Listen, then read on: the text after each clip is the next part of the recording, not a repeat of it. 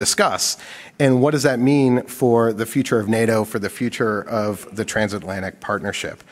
Um, the Center for Security, Diplomacy and Strategy, CSDS, is uh, with the Brussels School of Governance, uh, has been a, a really important uh, partner for us here at CSIS.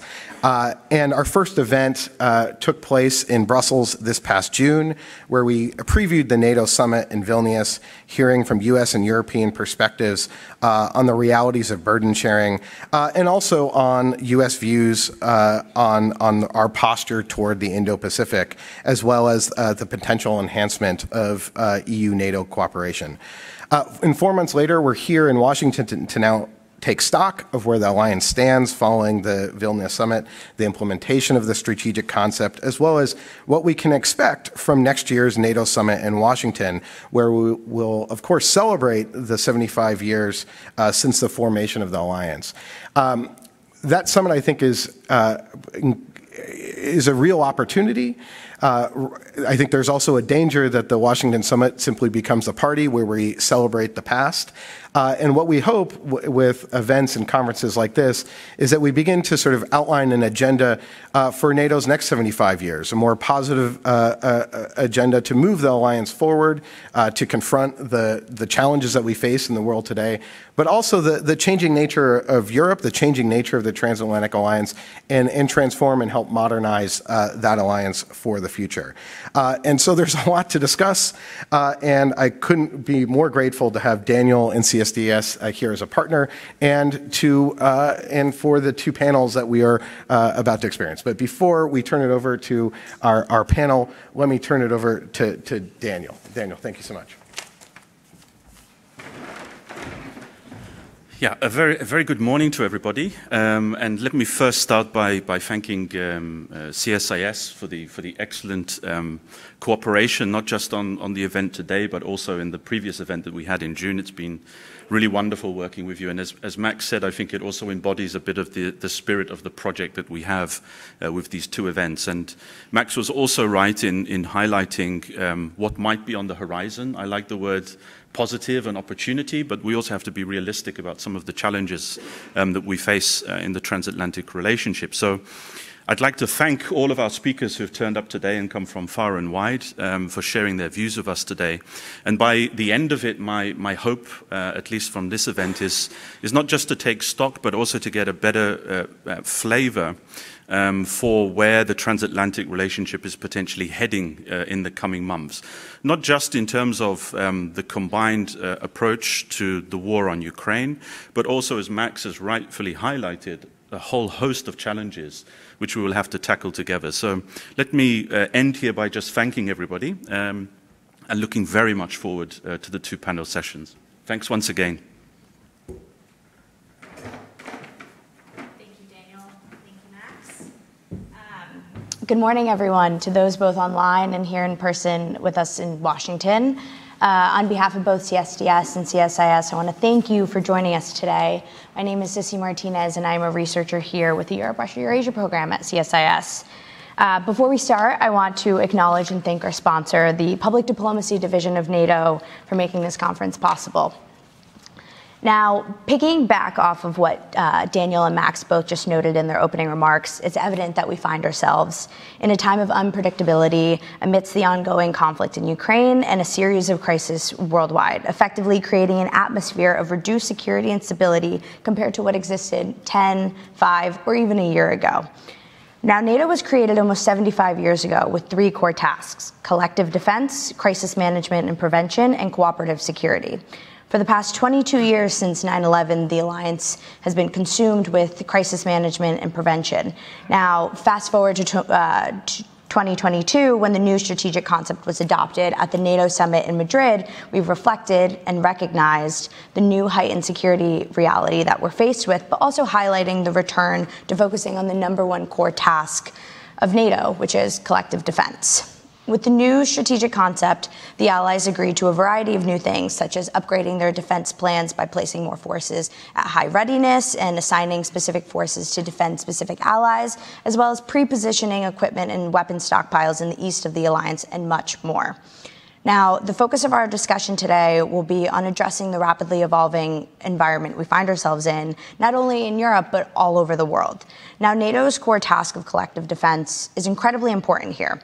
It serves as the central component of NATO's strategy, spanning various domains, including cybersecurity, hybrid threats, and conventional military challenges. Given the topic, I'm so excited to have here this great panel of experts. Uh, Jessica Cox joining us online uh, Robert Bell, Kristine Berzina, and Catherine or Kaki Elgin.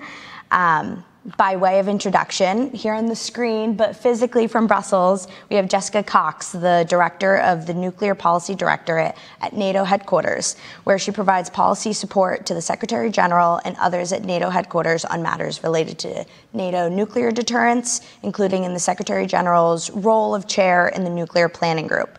Prior to NATO, NATO served in a variety of roles at the Pentagon, but most importantly, and I just found this out, Jessica began her career here at CSIS as a junior staffer with the International Security Program. So, in a way, welcome home, Jessica.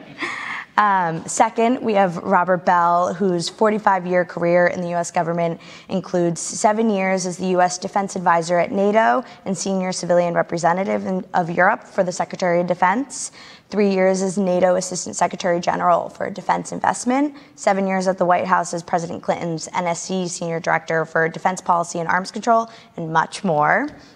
We have Catherine or Kaki Elgin, who is a fellow at the Center for Strategic and Budgetary Assessments, where she focuses on great power relations, U.S. allied defense strategy, and grand strategy.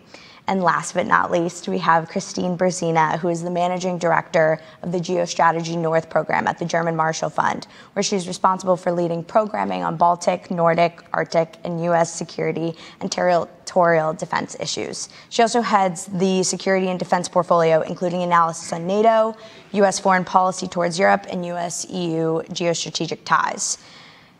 We have a great panel here um, who each carry a different perspective or expertise on the many challenges the Alliance faces. Now, Jessica, I'd like to start with you if possible. Um, the nuclear question is probably the biggest one there is, and likely the one that deserves the most spotlight. Um, based on your role at NATO headquarters, how does NATO assess and manage potential nuclear risk and crises, both regionally and globally? Sorry. Um, hopefully you can hear me. Okay, now we can hear you. okay, good. I think there's a bit of a lag between what you see and what you hear on the screen. Uh, at least that's what I'm experiencing too. But I was just saying that it's I'm delighted to be um, at least virtually at CSIS. Uh, uh, as noted, uh, I did start my career post college uh, in the international security program there, so it's always uh, has a, a, soft spot in my heart. although we were in the old building at the time, and the new building is much nicer for all involved. Um, and I also want to thank the Brussels School of Governance for inviting me to participate. Um, so, uh, as as you noted, the the as director for nuclear policy at NATO, uh, I have uh, we've been really focused on the emerging nuclear challenges, not only from Russia, uh, in particular, its aggressive uh, war against Ukraine, um, but also the other nuclear threats and challenges that are only increasing over um, uh, over the course of the the last few years. Um, first and foremost, of course, Russia has been using irresponsible nuclear signaling and nuclear coercive tactics uh, in conjunction with its illegal um, invasion and, and, unprovoked invasion of Ukraine. And we have seen continuous uh, nuclear signaling throughout the course of the conflict uh, to uh, in an attempt to limit uh, NATO's courses of action and to attempt to keep us out of the fight. And of course, we have been doing our utmost uh, to ensure that that Russia understands that it cannot uh, uh, gain what it seeks through uh, through the use of coercive nuclear tactics. Um, but the the fact that it, it has emerged as a, a key um, way that Russia is is uh, is waging this conflict uh, against an unarmed, a non-nuclear nation is is troubling. Um, and, you know, in, in, the midst of the war, we're also seeing Moscow continue to uh, invest in the modernization uh, and development of, of Russia's nuclear arsenal.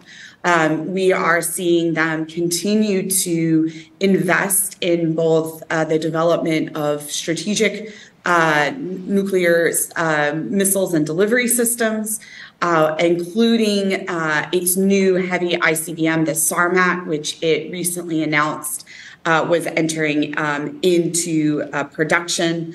Um, and also, we're seeing them continue to use, sorry, to develop um, their non strategic nuclear weapons, including uh, the novel nuclear weapons such as hypersonic missile systems uh, that President Putin announced back in 2018.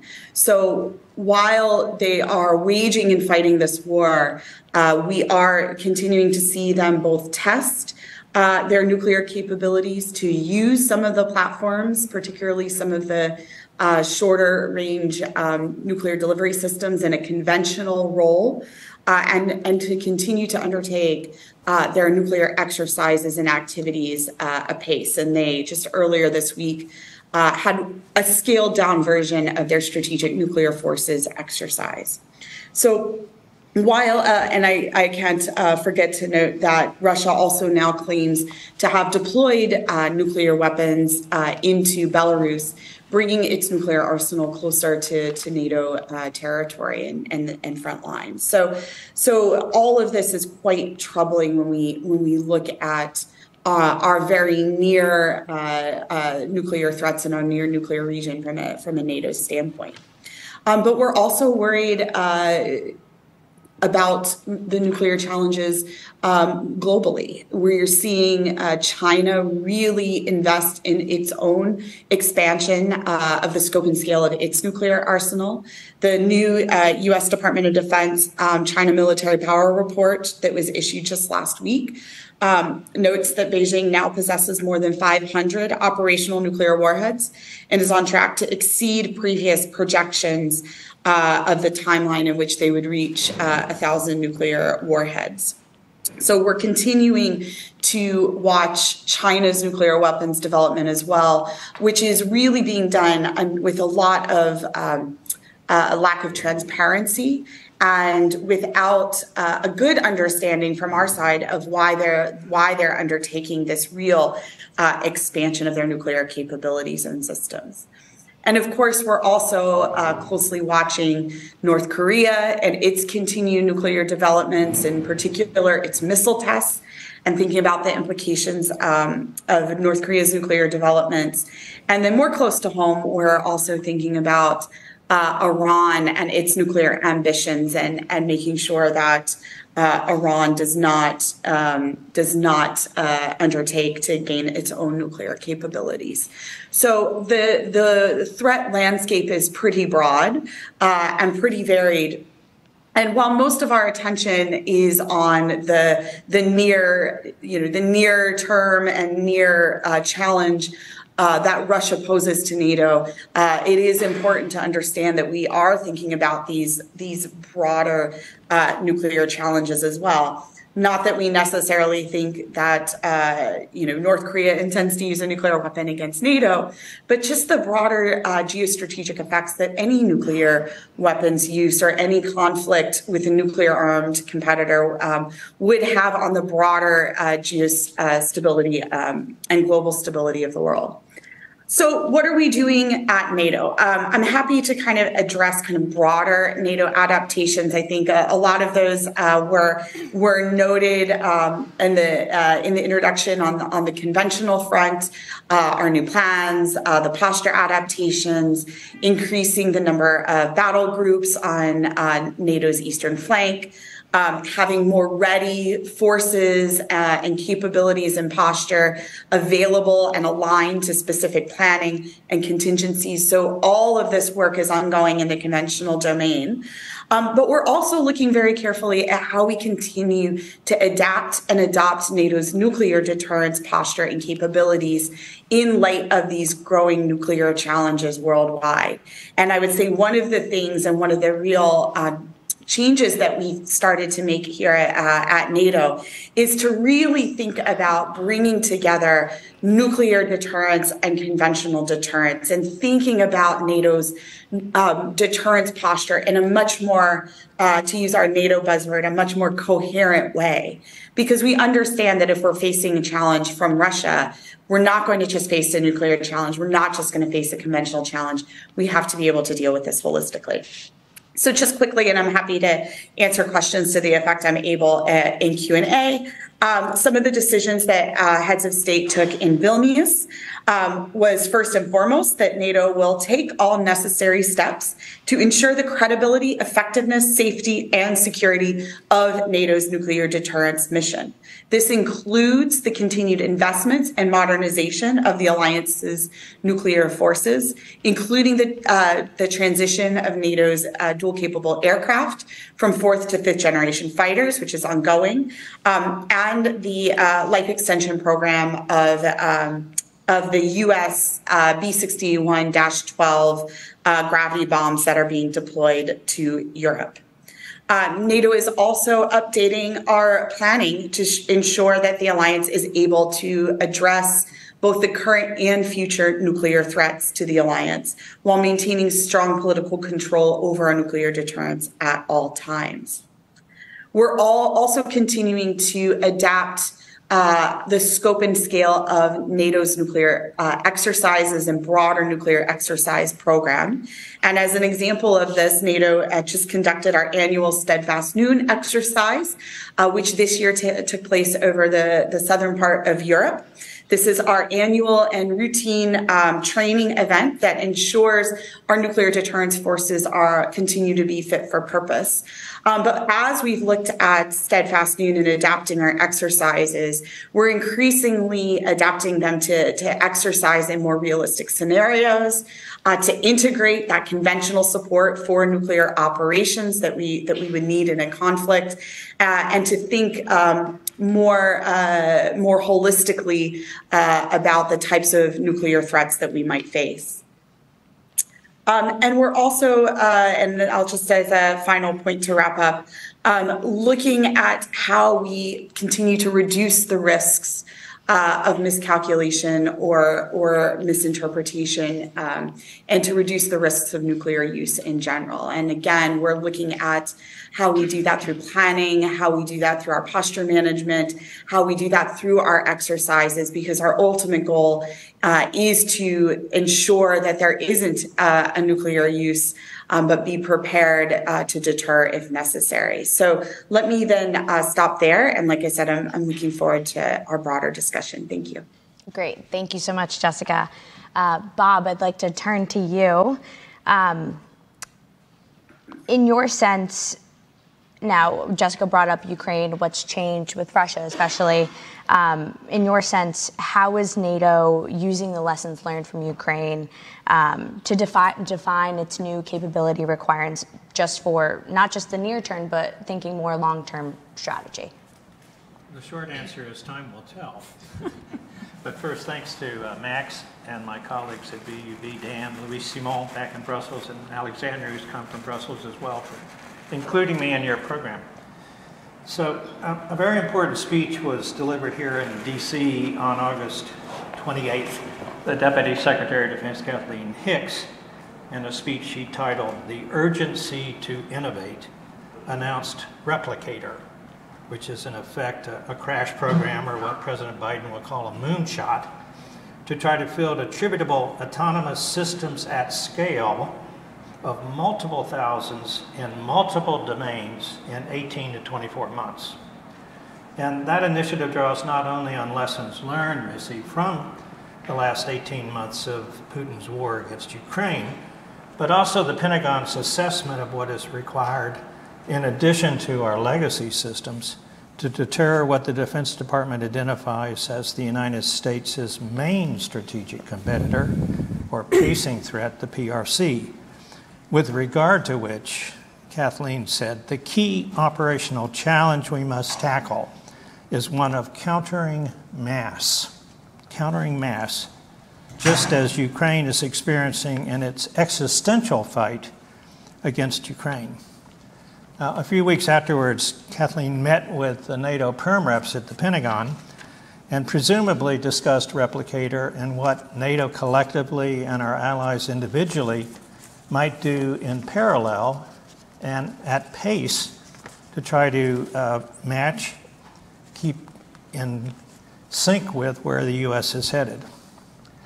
It's important to remember not too long ago, in 2005, our, our friend from Brussels, former Deputy SACEUR Sir Rupert Smith, in his uh, landmark book, The Utility of Force, wrote that, and I'm quoting him, protracted industrial scale, scale war, that is, war is a battle in a field between men and machinery, war is a massive deciding event in a dispute in international affairs, no longer exist. Unfortunately, it's clear that that prediction did not come true.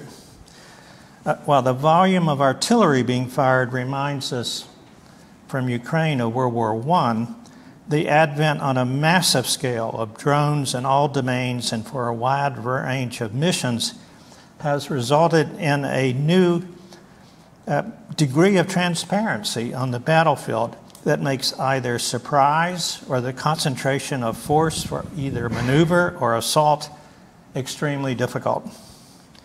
In a book released here at the Stimson Center uh, last month, IISS expert Jack Watling informs us that in the Ukraine war, Russia is firing 6,000 rounds of artillery each day for every three kilometers of the front. A similar grim statistic was highlighted by Mike Sweeney, a recent article in Defense Priorities, that in a 48 hour period of fighting in the Donbass, Russia expended more ammunition than the United Kingdom has in its entire stockpile. Indeed, earlier the, this month, the chairman of the NATO Military Committee in Warsaw said that the bottom of the barrel of our ammunition inventories was already in sight. Turning to drones, in a May article in RUSI, Jack Watling estimates that Ukraine is expending 10,000 unmanned aerial systems each month. 10,000. And in a stunningly insightful article on drones written with Federico Borsari for the Center for European Policy Analysis last month, former Deputy ASG for Defense Investment Skip Davis catalogs how woefully inadequate most, not all, but most NATO militaries are when it comes to UAV or UAS systems, and even more so with regard to countering the ability to counter those systems, including the deployment of electronic warfare capabilities within our land armies. And this is especially troubling given that Russia has recently announced that it intends to spend over $2 billion by 2030 just for loitering munitions alone. So, taken together, the requirements we face in terms of modern warfare require not only the preservation and enhancement of legacy systems and the reestablishment of robust production lines for ammunition with surge capacity, but also the incorporation of new innovative technologies while delivering in all three categories at scale and at speed. So, Missy, that is the challenge for NATO. Daunting. And what's to be done? Let me suggest 10 things just cryptically within our time limits, and then we can go into any more in depth uh, in the Q&A. First, it's clear that NATO's bedrock Article 5 remains more important than ever. The alliance's strategic concept clearly states that we cannot rule out Russian aggression against a NATO ally. And that has prompted all the enhancements, Missy, that you referred to as did Jessica. So, in short, uh, this is not a drill, okay? This is not academic, nor is it time to suggest, as some reports indicate, that former President Trump believes that some of our NATO allies are too small or too inconsequential to deserve protection under Article 5. Uh, I stand with former President Obama, who said in Vilnius that there are no big allies or little allies, they're allies, and that Vilnius, Riga, and Tallinn are just as important as London and Paris and Berlin. Second, it seems to me that in this environment, geostrategic environment, the 2014 Wales Defense Investment Pledge still matters. It's not a choice between funding enhanced legacy systems or funding emerging disruptive technologies or funding the reestablishment of resilience. It's all three and simultaneously. So the 20% and the 2% of GDP and the 20% for R&D by 2024 remains a key commitment, one that's been re-embraced by NATO. And 2024 is next year. It's no time, I think, for any prime minister to bluntly inform the Secretary General of NATO that his country will not meet the 2% period. Third, the long standing principle of burden sharing based on reasonable challenge still matters more than ever. In this environment, the U.S. cannot be expected to continue to carry the preponderance of capability contributions in NATO. And for obvious reasons, not just the points made by others regarding the Indo Pacific and our global responsibilities as we're seeing in these past weeks in the Middle East, but it, it's it's also because in the nuclear area, which Jessica just addressed, the funding requirements are growing, not decreasing. In an era in which all the guardrails on arms control have come off, and there's tremendous pushback in the Congress and in the academic community against the Biden administration's declaration that we can hold the line at 1,500 warheads, you have to expect increased demands on U.S. spending for the nuclear shield. And of course, it goes without saying that with our elections approaching next year, it's especially crucial to show NATO skeptics and opponents that Europe is all in in terms of its own defense.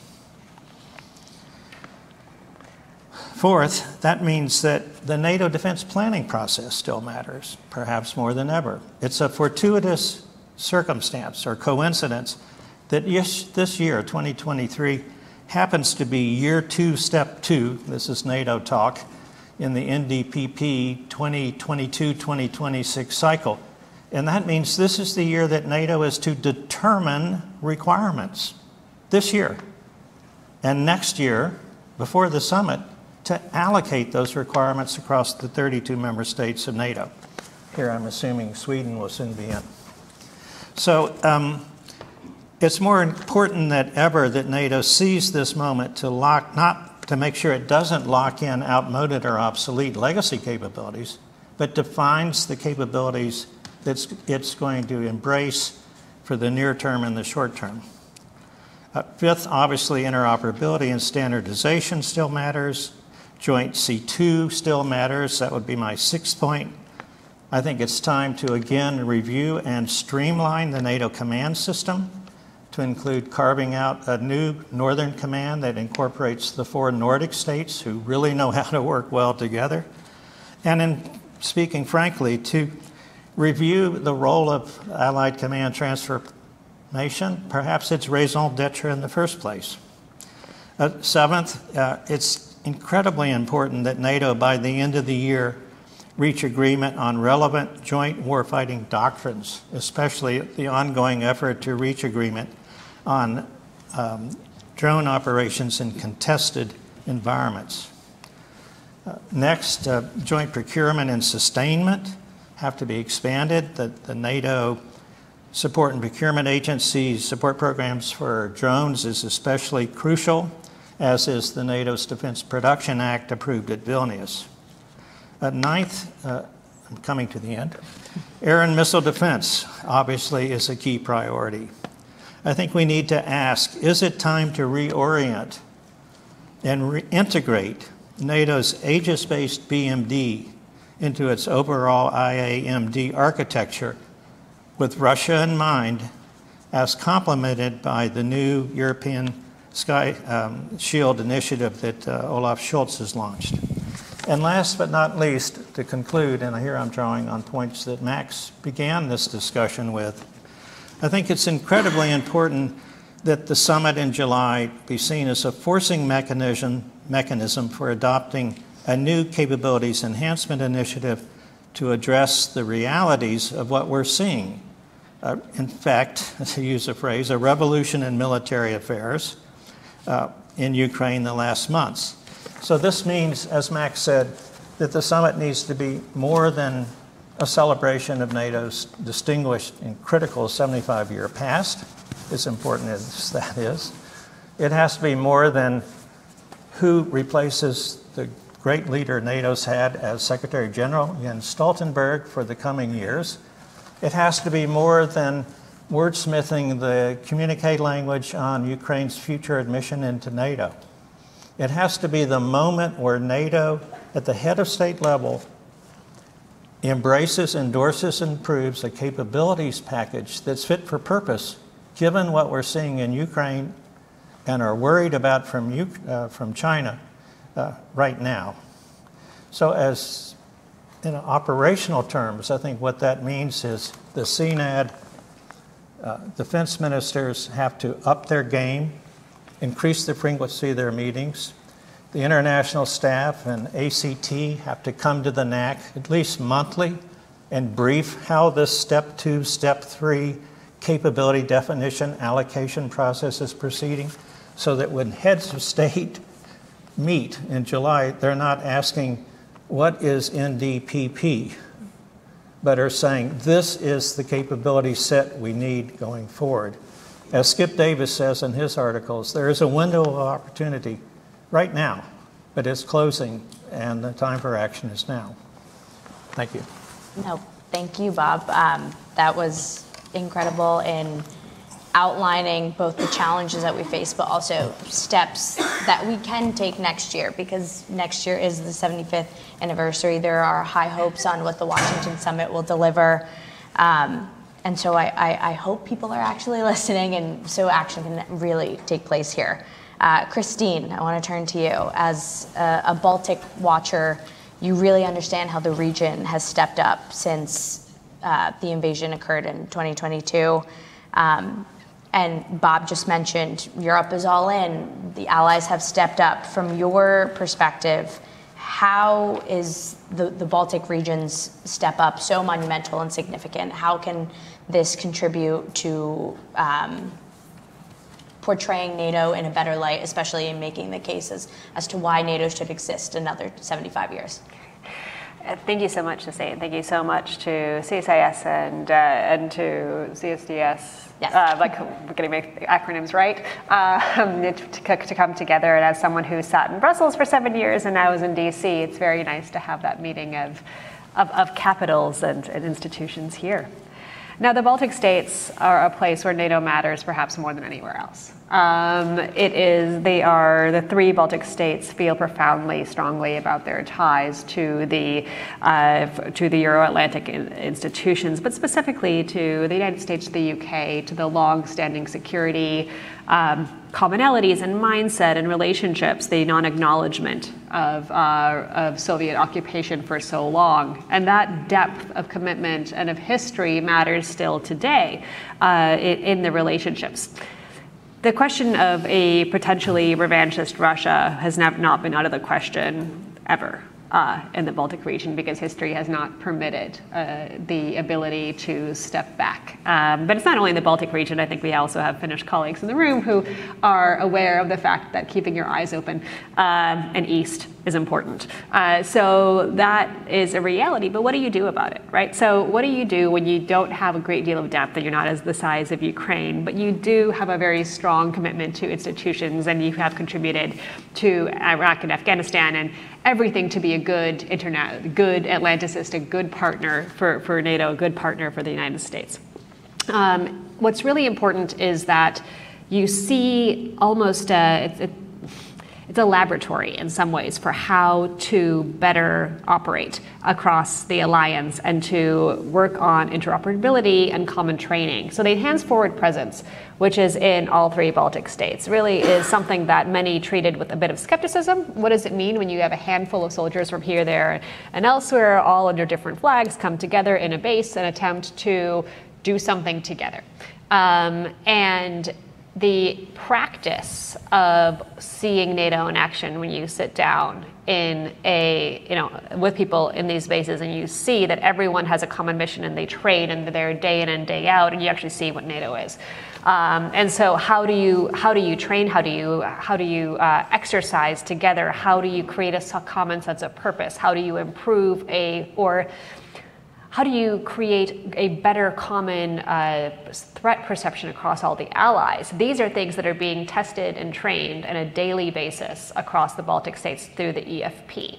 It also is an area of mutual reliance, and the kinds of things that would be necessary in our zero are already being put in place. For example, airspace. So I know the Nordics are also doing this, but having airspace uh, be available across all of the states at once, so you don't have to continually, you know, ask permission when you're flying you know, a fighter jet in a very small place in the air. You want to do it quickly and smoothly, right? So how do you how do you make it easier to operate? How do you rely on each other. Um, air policing in the, over the Baltics has happened on a rotational basis from other NATO allies for a long time. This is also an opportunity to, to test and be in the field the kind of capabilities that the Baltic states are seeking to develop, it is absolutely purchasing air defense and HIMARS and coastal missiles and creating that NATO lake that we keep hearing about. But it's also providing a place for training in a real productive way that we don't really have in Germany and don't necessarily have the, um, the societal buy-in to have significant exercise uh, with, uh, you know, shooting and banging and, and, and, bombs falling. Like that is not something you can really sell to the publics in Germany or let's say in the Netherlands. This is uh, you know, uncomfortable.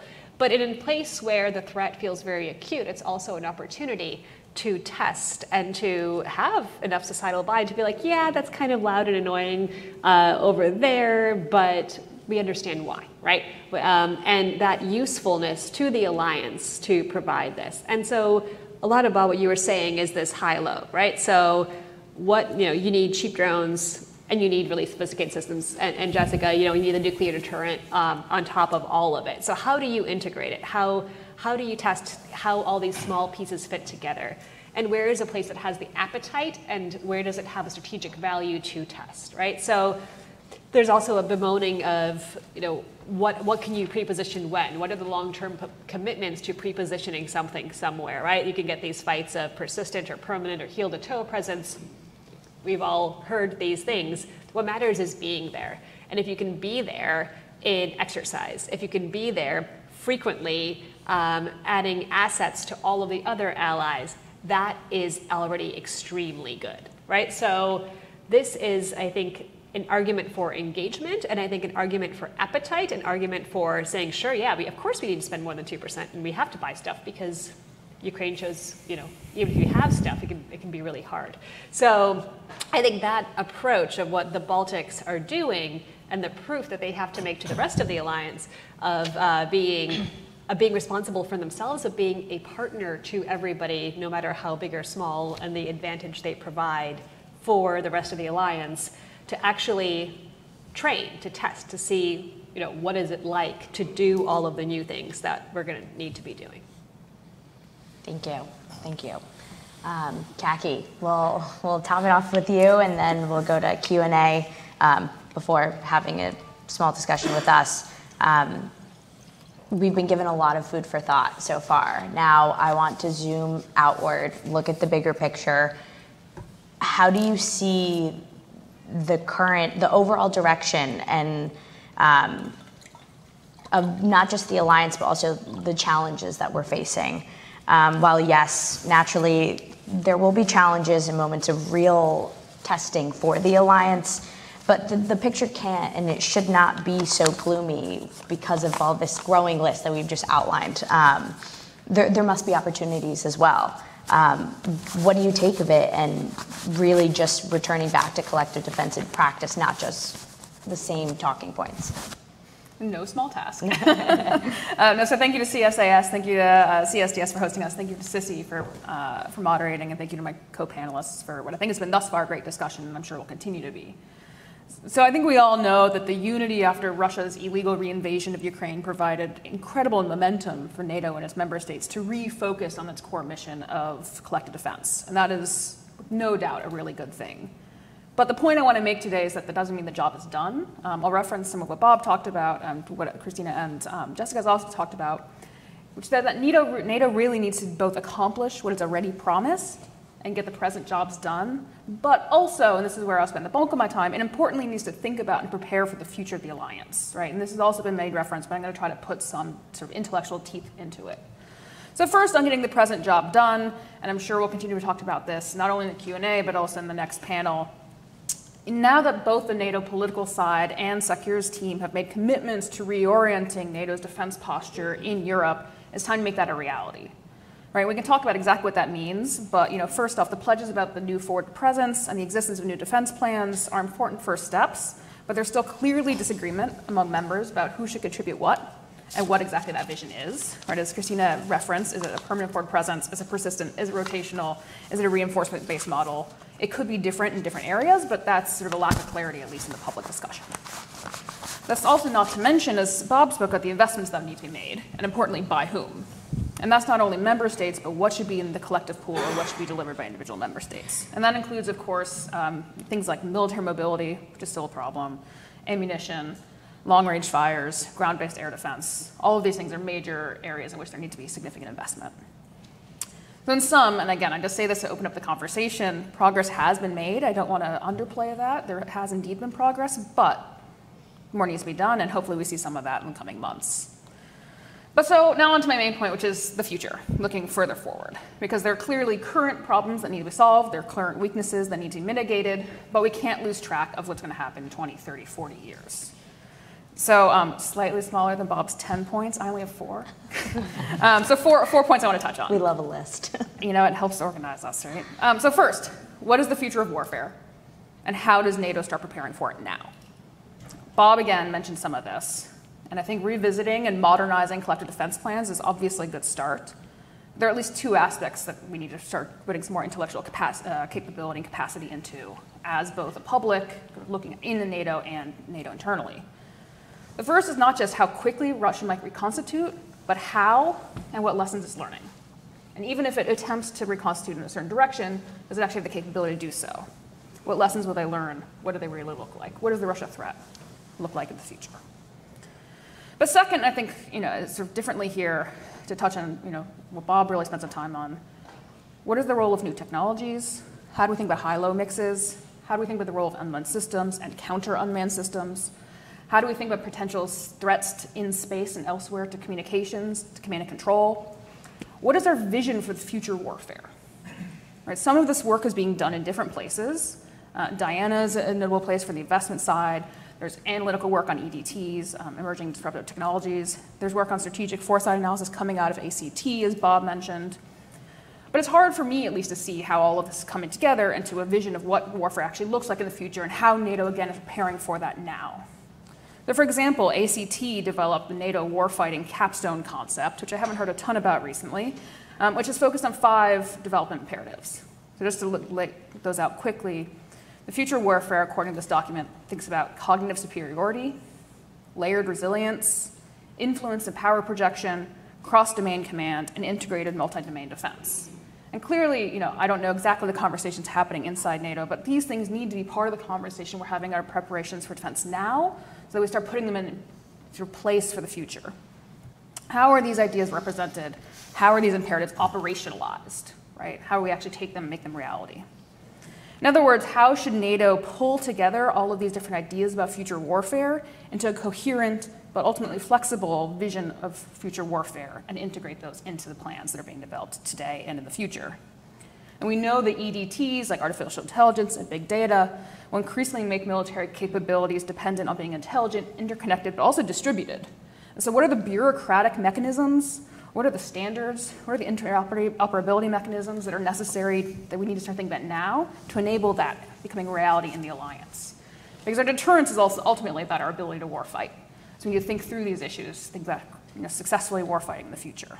And we need to make these intellectual bureaucratic training and RD&A investments now so that they're in place when the time comes. So that was what is the future of warfare. The second point is um, how does NATO shape its environment in the future? Right, NATO is, of course, a de- defensive alliance, but I believe it can be more proactive about creating a conducive environment to its interests, and about imposing costs on adversaries. Here we could take lessons, I think, from the US concept of competitive strategies, which is essentially shaping a competitor's choices during peacetime in ways that benefit our objectives.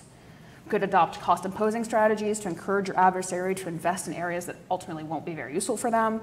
We could create problems for the adversary. You could also find and exploit asymmetries. The question is, how do you do that in NATO context? But I will point out that I'm not the only one who's thought about this. I mean, this point in fact that um, warfighting capstone concept I mentioned identified the need for NATO to be both more anticipatory and more proactive. And they emphasized balancing between shaping, contesting, and fighting. So how do we do more on the shaping and contesting side is one of these key questions that I've been thinking through. Doesn't necessarily mean that NATO will always be the primary actor. Of course, um, sort of the unity of membership is important. There will be disagreements. But NATO can serve as a venue for its member states to have these very important conversations. NATO as an alliance, though, I will say, can do a couple of things to shape Russian defense perceptions, decisions, and ultimately actions by, for example, um, demonstrating NATO's strength and presence in places like the High North, especially in Finland, I think, near the Kola Peninsula. Offers an opportunity to really cause issues for Russia. There's talk of FONOPs around the Northern Sea route. But we can also you know, increase our presence in exercises, et cetera, and our signaling in places like the Black Sea and the Baltic. Again, all in a mission to sort of signal to Russia, hey, we're here, we're deterring, uh, but also you know, trying to force Russia to think through its own investments. And Finnish membership already is forcing Russia to devote precious resources to that part of um, the country. Right? So that's an example where Russia is having to you know, sort of shift its own resources internally in response to NATO, as opposed to NATO responding to Russia. But importantly, too, competition is as much about uh, attempting to shape your adversary as it is about ensuring your own competitiveness. So there's a degree of this that, of course, NATO needs to ensure that its member states are as strong as they can be, as resilient as they can be, and again, I think sort of serve as a venue for having these really tough but important conversations. All right, so that's uh, future warfare, shaping your environment. The third is below threshold activities, which are not going away. Um, I applaud very strongly the focus on collective defense, um, but NATO needs to have a conversation, and I know it is, but if there's a more meatier conversation about how to step up on collective defense while also still supporting its member states in more day-to-day sub-threshold competition activities. One idea, and I think he's in the room, Sean's in the room. Uh, one idea that I have to credit Sean for here is if the Joint Expeditionary Force, for example, was originally built to help uh, fill a bit of a collective defense rapid response gap, and if NATO's stepping up there, how can we think about using organizations and entities like the JEF um, to provide more support on the competition side? How do you really build the meat to the DDA? And NATO can do this, of course, in cooperation with the EU, um, as a resource to help these member states, but it cannot ignore these actions. It can't pivot so hard to collective defense that it ignores the sub-threshold activities. Because sub-threshold activities, data competition, it would ultimately set the conditions for when a conflict does occur. And as collective defense in NATO hopefully gets better, below threshold activity may actually rise in importance as states continue to seek ways to, to demonstrate their interests.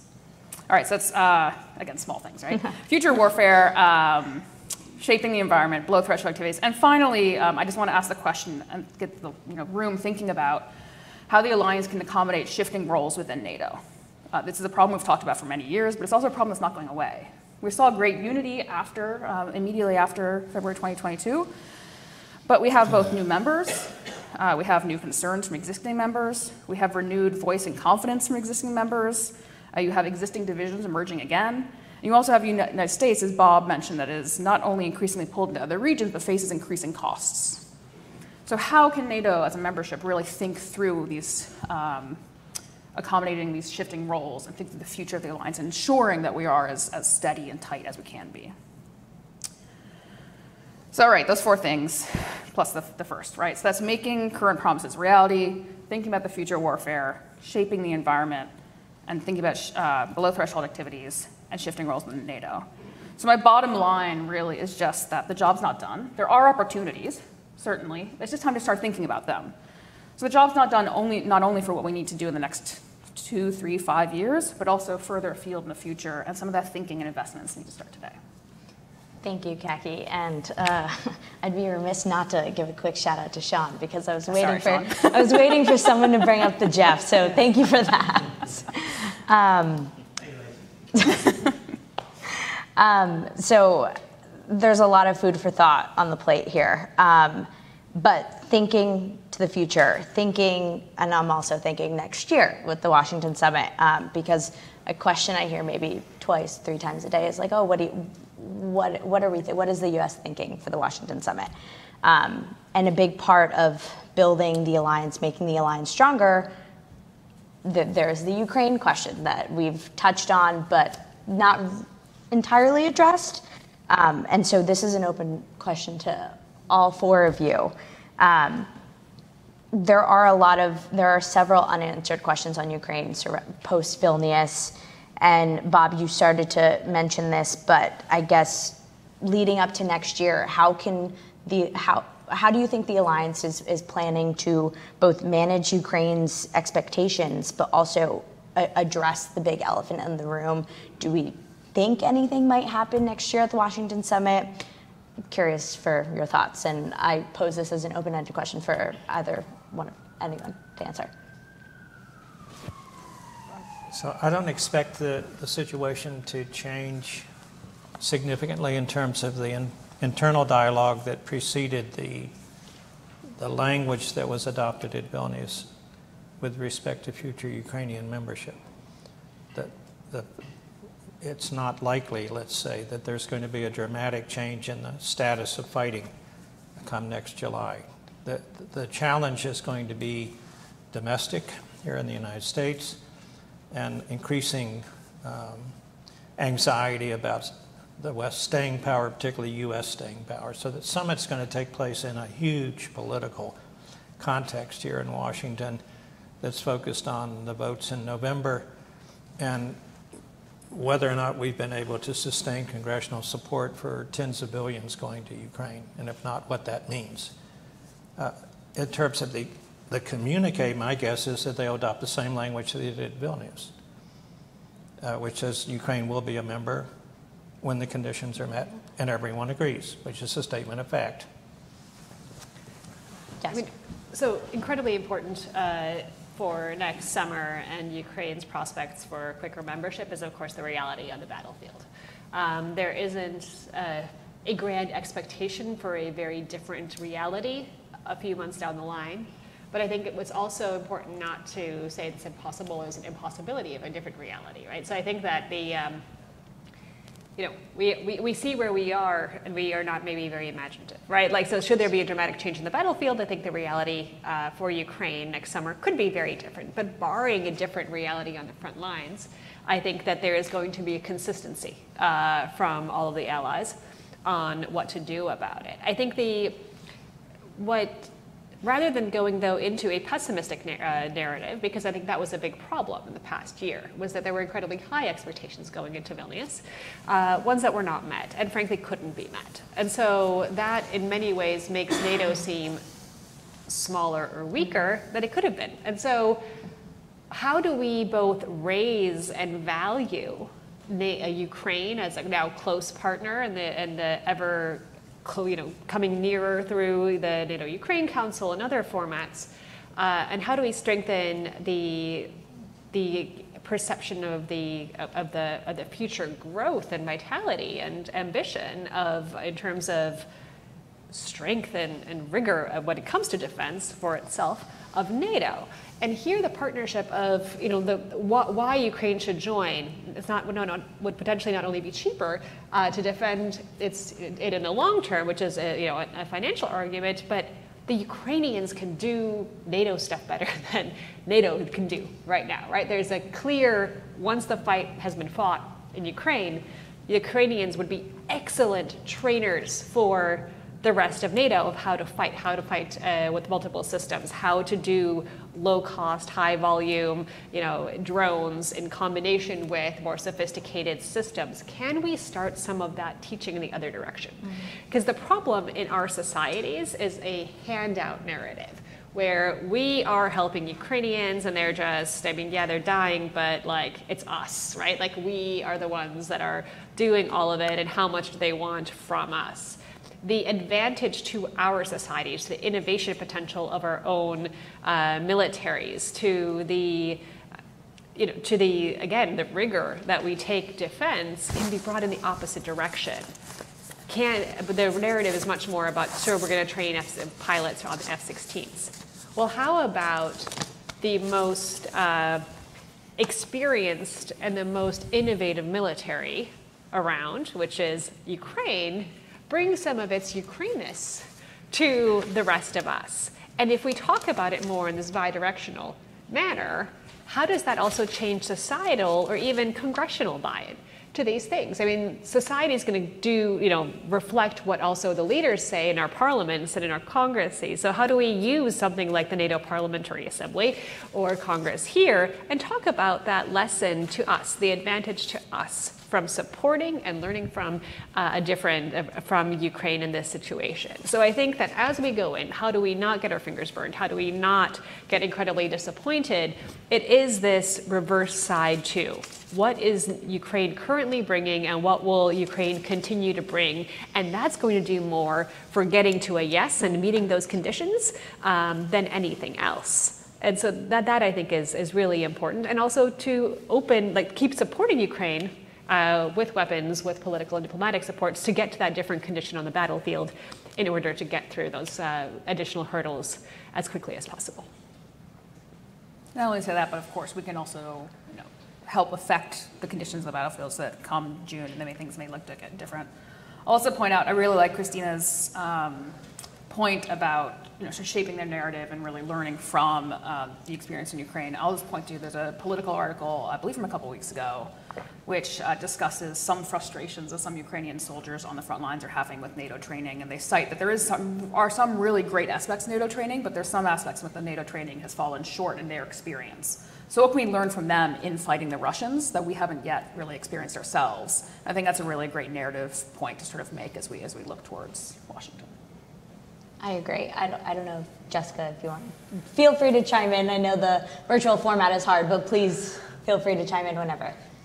No, I, I don't. Um, I don't think my position um, varies greatly from the other um, uh, panelists. I would just, you know, point out that with the uh, new NATO Ukraine Council that was agreed in Vilnius, um, that does come with actually quite a bit of work. You know, we had. Uh, uh, a good um, uh, NUC at the defense ministerial uh, just a few weeks ago um, where all allies really reiterated their support to bringing Ukraine closer to NATO in this intervening time, um, recognizing that we're not yet at a point where NATO, where Ukraine can join the alliance.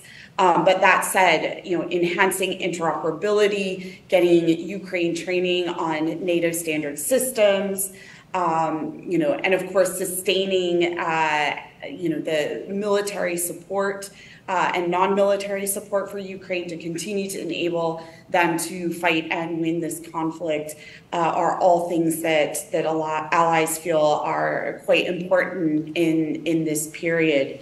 Um, and I would also note that one of the I think um, important outcomes uh, that's often overlooked in our discussion on Ukraine is that allies did take the um, the step to say that uh, there doesn't need to be a map or uh, a membership action plan or anything like that. That you know, basically, once um, you know the the war has come to a a, a point where um, membership in NATO is is uh, you know is, that we're able to invite Ukraine in, that, that that will happen. So, so I do think that we did take some quite important steps in Vilnius and are and are doubling down um, on those mechanisms now to really try to bridge uh, bridge the gaps and make it as uh, feasible and possible for Ukraine to join the alliance when that time is right.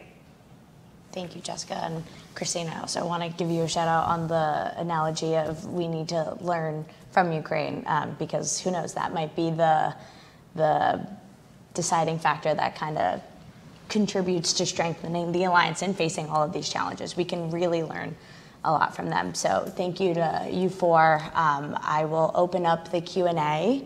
Um, we have some mics floating around, so please raise your hand and we'll get to you.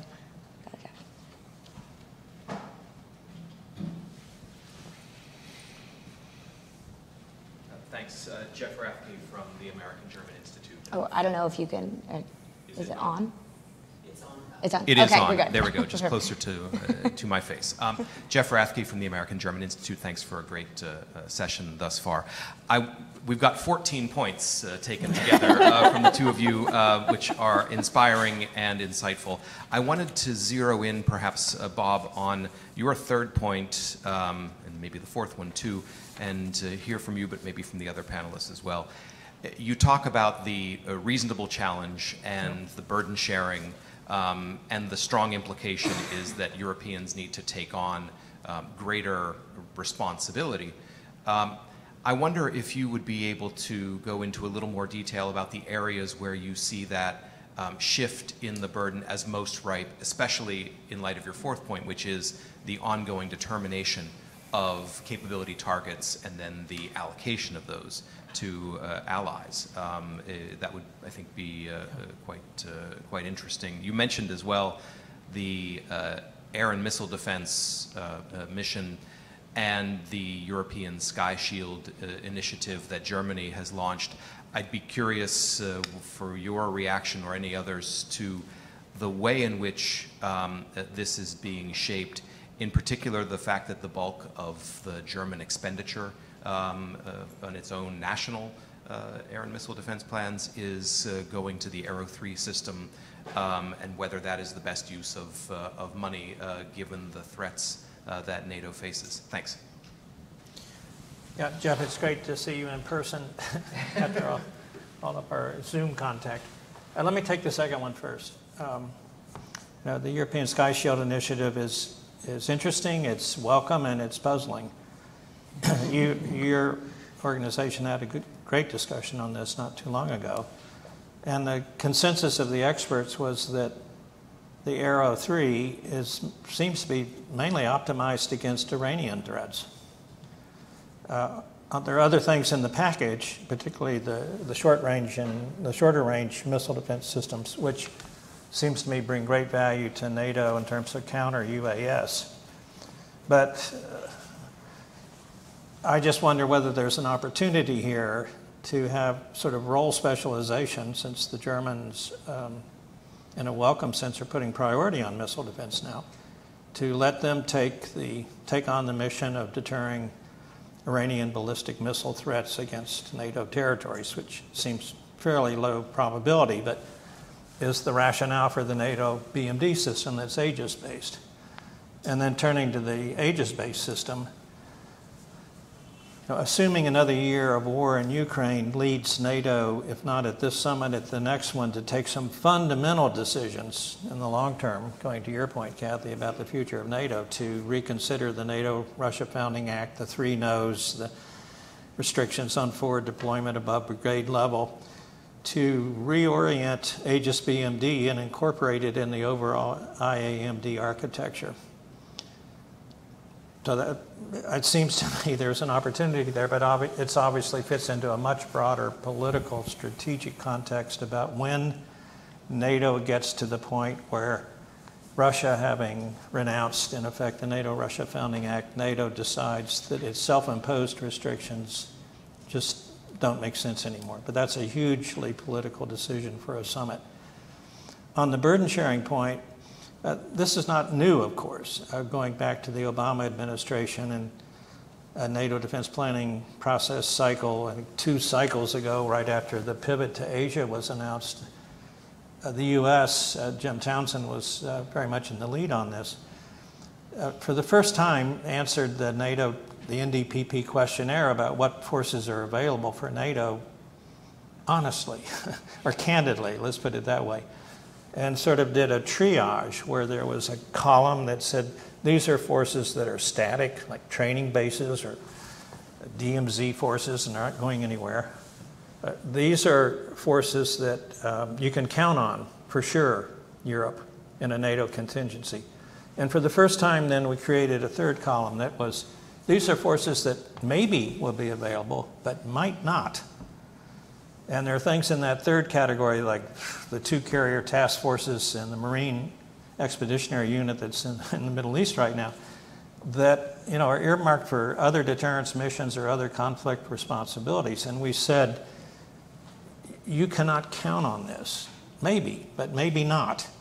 And I think the hope was that that would motivate a response from Canada and our European allies in the NDPP to at least reduce the list of mission areas where the United States is carrying more than 50% of the capability requirement, which is not supposed to be the situation. It, it's, there are too many exceptions to that in terms of theater missile defense, SEAD, air refueling, strategic bombers, radar systems. Uh, actually, the French defense minister a couple years ago in Washington gave a great speech at the Atlantic Council where she itemized all the areas where the U.S. is providing upwards of 70 or 80 percent of the overall NATO capability. Uh, the military authorities at NATO took that U.S. input and in their suitability and risk assessment report, which has got to be one of the more obscure acronyms in NATO. I'm sure you know, head of state knows what the SRA report is, let alone NDPP. But in that report, the military authorities said, this is significant risk. You know, you have been warned, in effect. But it wasn't evident that it deflected the needle in terms of the capability target allocation process in, in a dramatic way. So all, what I'm saying now is that it's worse now than it was then. The China pacing threat reality is more public and clear. The possibility of a wider war in the Middle East is upon us. North Korea has gotten worse, not better. The nuclear demands, as Jessica has outlined uh, in terms of Russian and Chinese expansion, not to mention North Korea, are growing. Arms control seems to be in the ditch. So it just, my point is that this process where the, the requirements are determined, taking account everything we've learned in Ukraine, and then the allocation of that consistent with what's supposed to be the 50% rule, fair burden sharing, and reasonable challenge, the reasonable challenge being key. This next uh, step three, which comes due at the time of the summit, is no time to just have business as usual.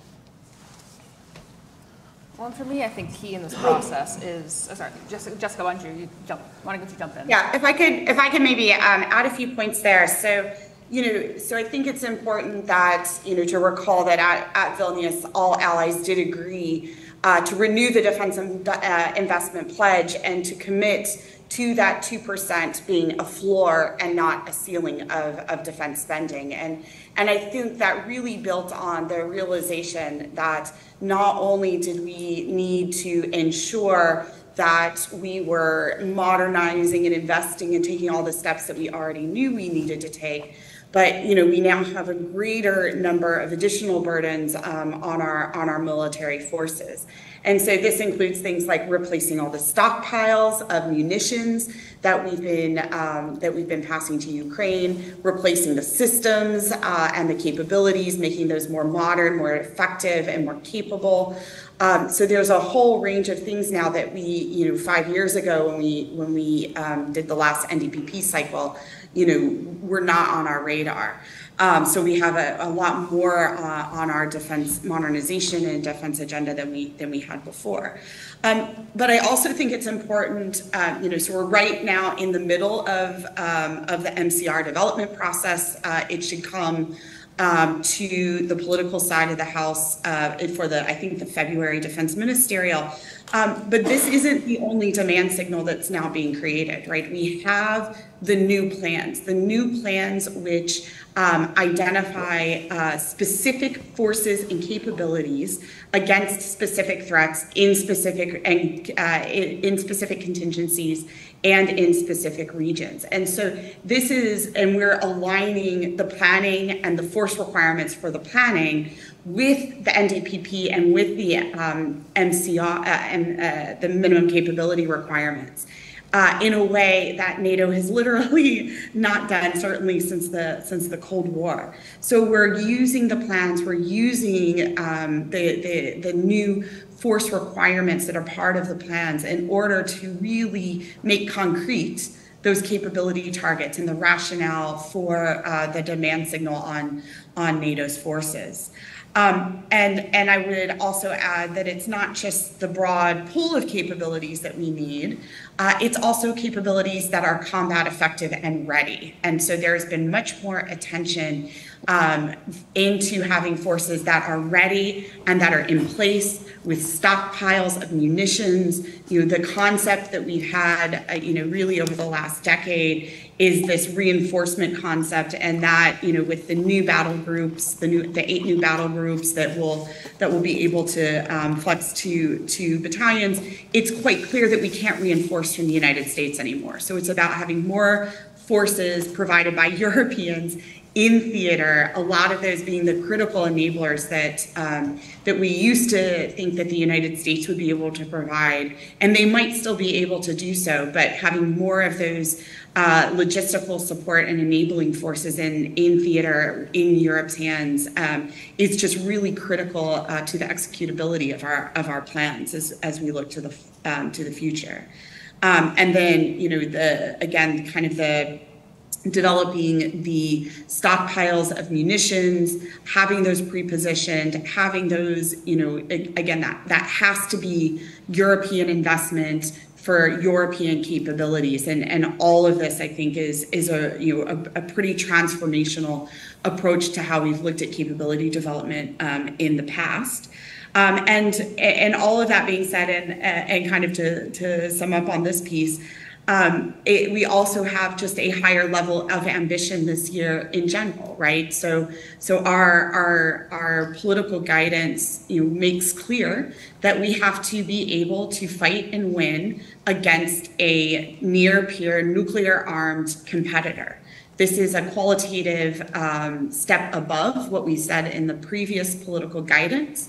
Um, but it also says that we have to be able to undertake out of area operations uh, if, we, if required to do so. So we have to be able to do all of this from the same pool of forces. So, so uh, I think we're all anticipating here that when the MCR does come in, that it will be substantially larger um, than certainly the last version in 2020, um, and that that means uh, and that those targets that are that are allocated and apportioned over the next you know next year are going to primarily go to, to Europe and Canada, not the United States. So so I think there's there's a lot of work that is still to be done, um, but certainly um, you know there's certainly uh, much more that we have to do than two percent uh, is going to get us uh, get us there. So so I just want to. Um, uh, make all that clear. And just finally on Sky Shield, you know, I think there's something like 16 or 18 allies who have now signed on to be part of the Sky Shield, um, I don't know what we're calling it, but the, the consortium. Um, and while Arrow 3 has gotten a lot of the attention, I think there is um, an understanding that it is going to go much uh, further beyond that in the broader uh, consortium of, of allies that are involved and engaged um, including things like the U.S. I think is has now committed to putting uh, Patriot uh, production facilities into Germany to so we can produce Patriot batteries here uh, in the European theater, Patriot munitions, um, and then there's a lot of discussion, uh, you know, about what other allies will invest in as part of the broader initiative. Um, but one of the things I think that has been really important um, that Germany and others have, have signaled strongly is that this is part of NATO's capabilities. So this is for to fill those gaps in integrated air and missile defense that we know we have already and to try to put some uh, real focus and attention in this really mission critical area. So I'll just stop there. If I can hop in really quick, let's make a quick point, which I think we've got a real moment of opportunity here. Um, right, there's momentum, um, there's real meat to the conversation, as Jessica just pointed out, that can allow us to really have concrete conversations about these issues. Um, and there's also, you know, a weekend, though I will point out, very much not fully down. Uh, Russia at the moment it allows us to sort of have these conversations a little more freely. And I think what's really important is both transparency and honesty, not only with allies but with ourselves about what we can actually offer. And there's some really good work happening some, by some, you know, some of us in the room trying to think through what are the capabilities that are fungible, what is duplicative, what's exquisite to a region or a mission, um, what requires a greater physical presence, what can be done remotely. These are the kinds of conversations that need to be had, and I know there's great momentum around the analytical community on this side. So hopefully we reach a point where we hop onto the momentum that's not only happening intellectually, but also on the ground um, in these NATO political and military conversations, that we can really make progress on this in the next you know, year or two.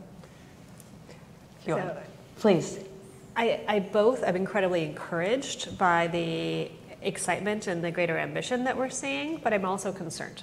Um, and the concern comes from the fact that I think NATO right now is in a, like, would, you know, looking back to 2014, like there's a 2014 scenario today. In 2023, NATO would knock it out of the park. There's no question that a 20, 2014 scenario would work anywhere. NATO wouldn't at all. Uh, now we're like, we can, to- we're gonna, pretty soon we'll be like in a perfect 2022 scenario, right? Like we can, we, we have learned all about what Russia does in the field and how they do it. Um, and we're going to make sure that, and, and we're also going to think about kind of like the long-term future, but we're also going to do like 2022 perfectly. But Russia's also thinking about what they did in 2022, right? So Russia has kept a lot of its crown jewels, a lot of its naval assets, its air assets hidden. It is like it is learning which one of its missile, which missiles are great, which missiles are less great. It um, it isn't and, and, it also doesn't feel like it has to care about many other things at the same time because it's Russia. So uh, Russia can concentrate and can invest and it can learn as well. So how are we planning to adjust for what Russia has learned now before we do another cycle of this? We can't afford another cycle of being awesome against Russia in 2022.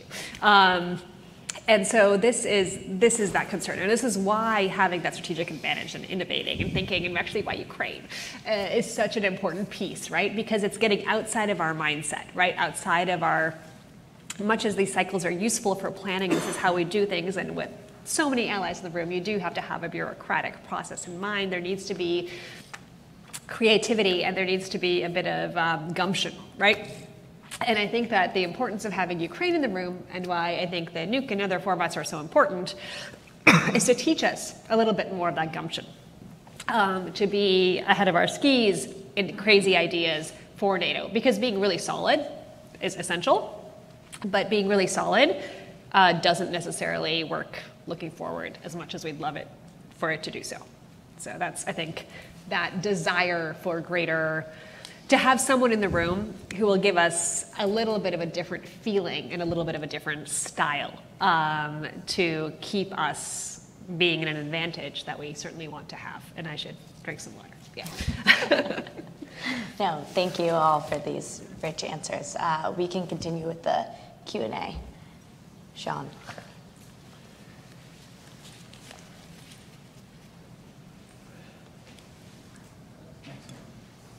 Morning, everyone. I'm Sean Monaghan, a visiting fellow here, uh, aka Mr. JEF, apparently. Thanks for the shout out. Um, actually, more timely than, than, you could know because I've just uh, uh published a piece on the JEF and the JEF's role in countering hybrid threats. Uh, Nick wants you to see my, my red trousers, so I'm standing up. Uh, uh, it's just been published during this panel, so how's about that? Hot off the press. the question's not about the Jeff, it's about the Washington summit. Uh, it's going to be such a big deal. It's already looming large on our collective horizon. Uh, the panel's covered a lot of ground, but let me challenge you. What, what's the one thing, the one takeaway that the Biden administration and NATO allies uh, should be thinking about from Washington? And let me help a little bit. The previous two summits, I think the big takeaway in Madrid was that Russia is the main adversary and NATO is back to collective defense and deterrence. And in Vilnius, it was Ukraine has a, has a viable. So, Russia, Ukraine, what's the next stage in the, in the story of NATO summits? Thanks. Maybe if I can start off, I would say the the very unsexy uh, answer to that is that we have to deliver, right? So we have to deliver on the 2% commitments. We have to deliver on the capability developments. We have to deliver on the executability of the plans and the force posture and the ready forces. We have to deliver on the nuclear adaptation uh, and coherence between nuclear and conventional capabilities we have to deliver. We've made, as you point out, a lot of good commitments uh, and done a lot of great thinking, um, but now it's time to literally put them, our money where our mouths are. Uh, and I think, you know, certainly from within NATO and from within headquarters, that is that is our primary focus: is making sure that we are delivering on all of the commitments that our leadership has made over the last two years um, so that when we walk out of the you know giant conference room in Washington next July, uh, that we can say NATO is fit for purpose, that we have the forces, capabilities, and plans in place uh, to be able to meet uh, the strategic challenges that we face um, right now against Russia, against uh, the threat of terrorism, uh, and we're looking to the future. Uh, so I will say first off, you're welcome, Sean, for setting you up so you could announce your publication. Uh, that was not planned. Um, so I will say, and I don't think this will be surprising given my opening remarks, but I think delivery is, is key, as Jessica just said. I will point out, I think really like the narrative around delivery is really hard to communicate to a public. And so thinking really deeply, one, you have to act, first you have to deliver, but second, communicating that delivery is I think something we need to put a lot of effort into because that's a hard thing to really message out. So I will offer another message that could be put out, which is that NATO is preparing for the future. NATO will be here for another 75 years. We're really moving into the next era. I think that would be a really strong message and one that I think is a little easier for broader publics to digest. But again, to Jessica's point, it's got to have meat behind it. So I don't want to repeat myself, but I can't overemphasize the extent to which this summit would take place in a domestic political, under a domestic political microscope with a megaphone, and there are going to be two competing political narratives. Uh, oh, the first one, coming from the administration, is that NATO remains the indispensable alliance, is fundamental to American security interest. This president has united NATO in a way that's extraordinary, and that and the threats remain clear and present because the war in Ukraine is unresolved. What the other narrative is, there's a big question mark, and that in itself is concerning.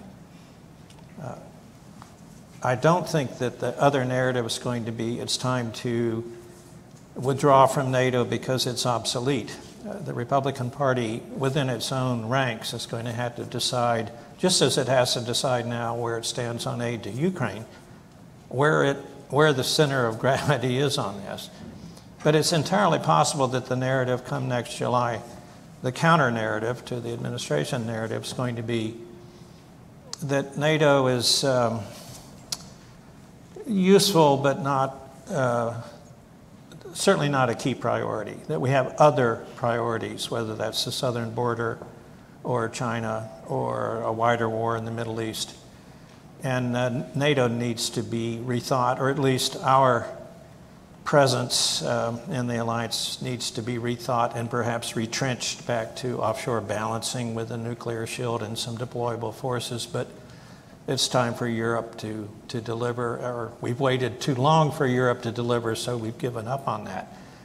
And, and that's where the media is going to be reading everything that happens down the road here the site where NATO was born. They're going to be reporting this summit through the prism of the political debate that's informing the presidential campaigns on both sides leading to November.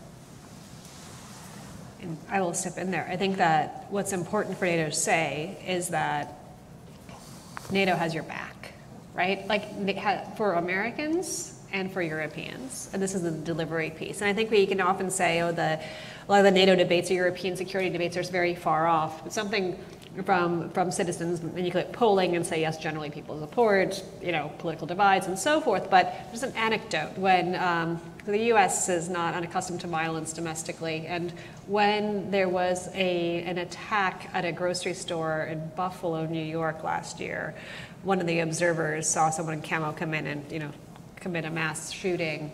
Uh, and the first thought of this person watching it was like, oh, is it the Russians? And they were talking about a grocery store like in Buffalo shortly after the invasion uh, of last year. So Americans, they think about the fact that there is actual vulnerability. They do think about security.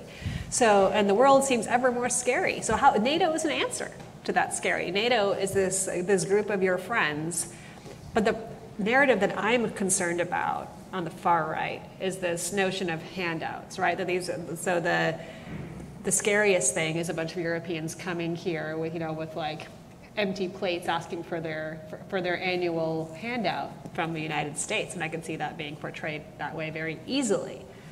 So, what is on that plate that the Europeans are bringing here? So, if you think about um, Madrid summit as a political commitment, and you think of um, Vilnius as the plans and the blueprints, like you have to have some you need to bring things. You have, like you have to literally bring it you need to come packing but don't not that literally don't do that literally. But you know like uh, you need to have here is what you're procuring in weapon systems here is what you are spending here is how you are working together with others to do it. Here is your actual investment or your receipt of purchase for getting there right? Uh, and this is how it helps the people and that story of here is what and why it matters for, to have purchased by next summer is that something that is on order or something that is purchased was made someplace by people. And drawing that back, and that's what Biden's speech last week was uh, all about too, was like making that link from A, NATO will protect you because the world's scary. Uh, NATO is a place where our friends come together to protect us, and they did. Uh, and you take it back to the, the unpopular but incredibly meaningful in, in, in, the European allies too of the Middle Eastern wars the US fought and allies showed up for. And then you have the, um, and this helps your community, and here's what I have purchased, and here's how much it cost, and here's where that money is going, and here is why this matters to you. And so I think that that concreteness of delivery, right? Delivery, yes but it's about people in a place, and it's about friends who have died for you and fought with you. It is not abstract. It is not an Excel spreadsheet. It's not 1.7 versus 2.3 or whatever. Um, it is real stuff and real people in a real place. Um, and if that can come through next summer, I think we'll be okay.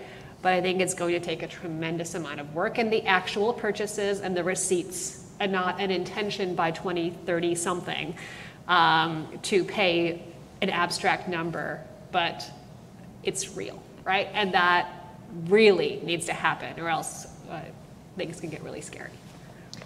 I, I want to quickly touch on just the, the theme that I'm hearing across all four of your remarks is that it's one thing to physically deliver, but it's another thing to an, another thing in its messaging. Another thing in messaging, its execution, for portraying not just to the, the national security apparatus, the experts, but also just the common citizen in Buffalo, New York, of understanding this is what the alliance is, this is what we're actually doing, and this is why you should care. Um, so I'm I'm eager to see how the messaging will change in the next year because the messaging at Vilnius was not the best, as we all know. Um, I think we have time for one, one or two more questions?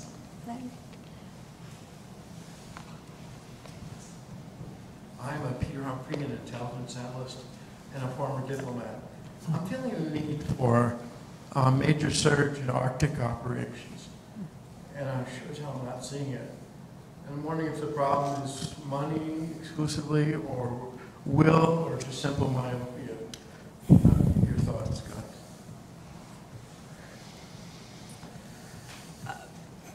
So I, I think that there is there is a there is an ever-growing acknowledgement of the importance of this area. There's an ever uh, like we're, we're like pre-Madrid in terms of words. Like we have a thought that this is going to be important. We have the understanding that it is, but there are I think there's an inevitability of the incredibly you know the, the impending massive importance of this region. And so when we think about you know how how is the United States vulnerable you know, in the most physically, physically, it's quite vulnerable if you go north, right? Like there, there there's, um, it's close, right? Uh, the, the adversaries.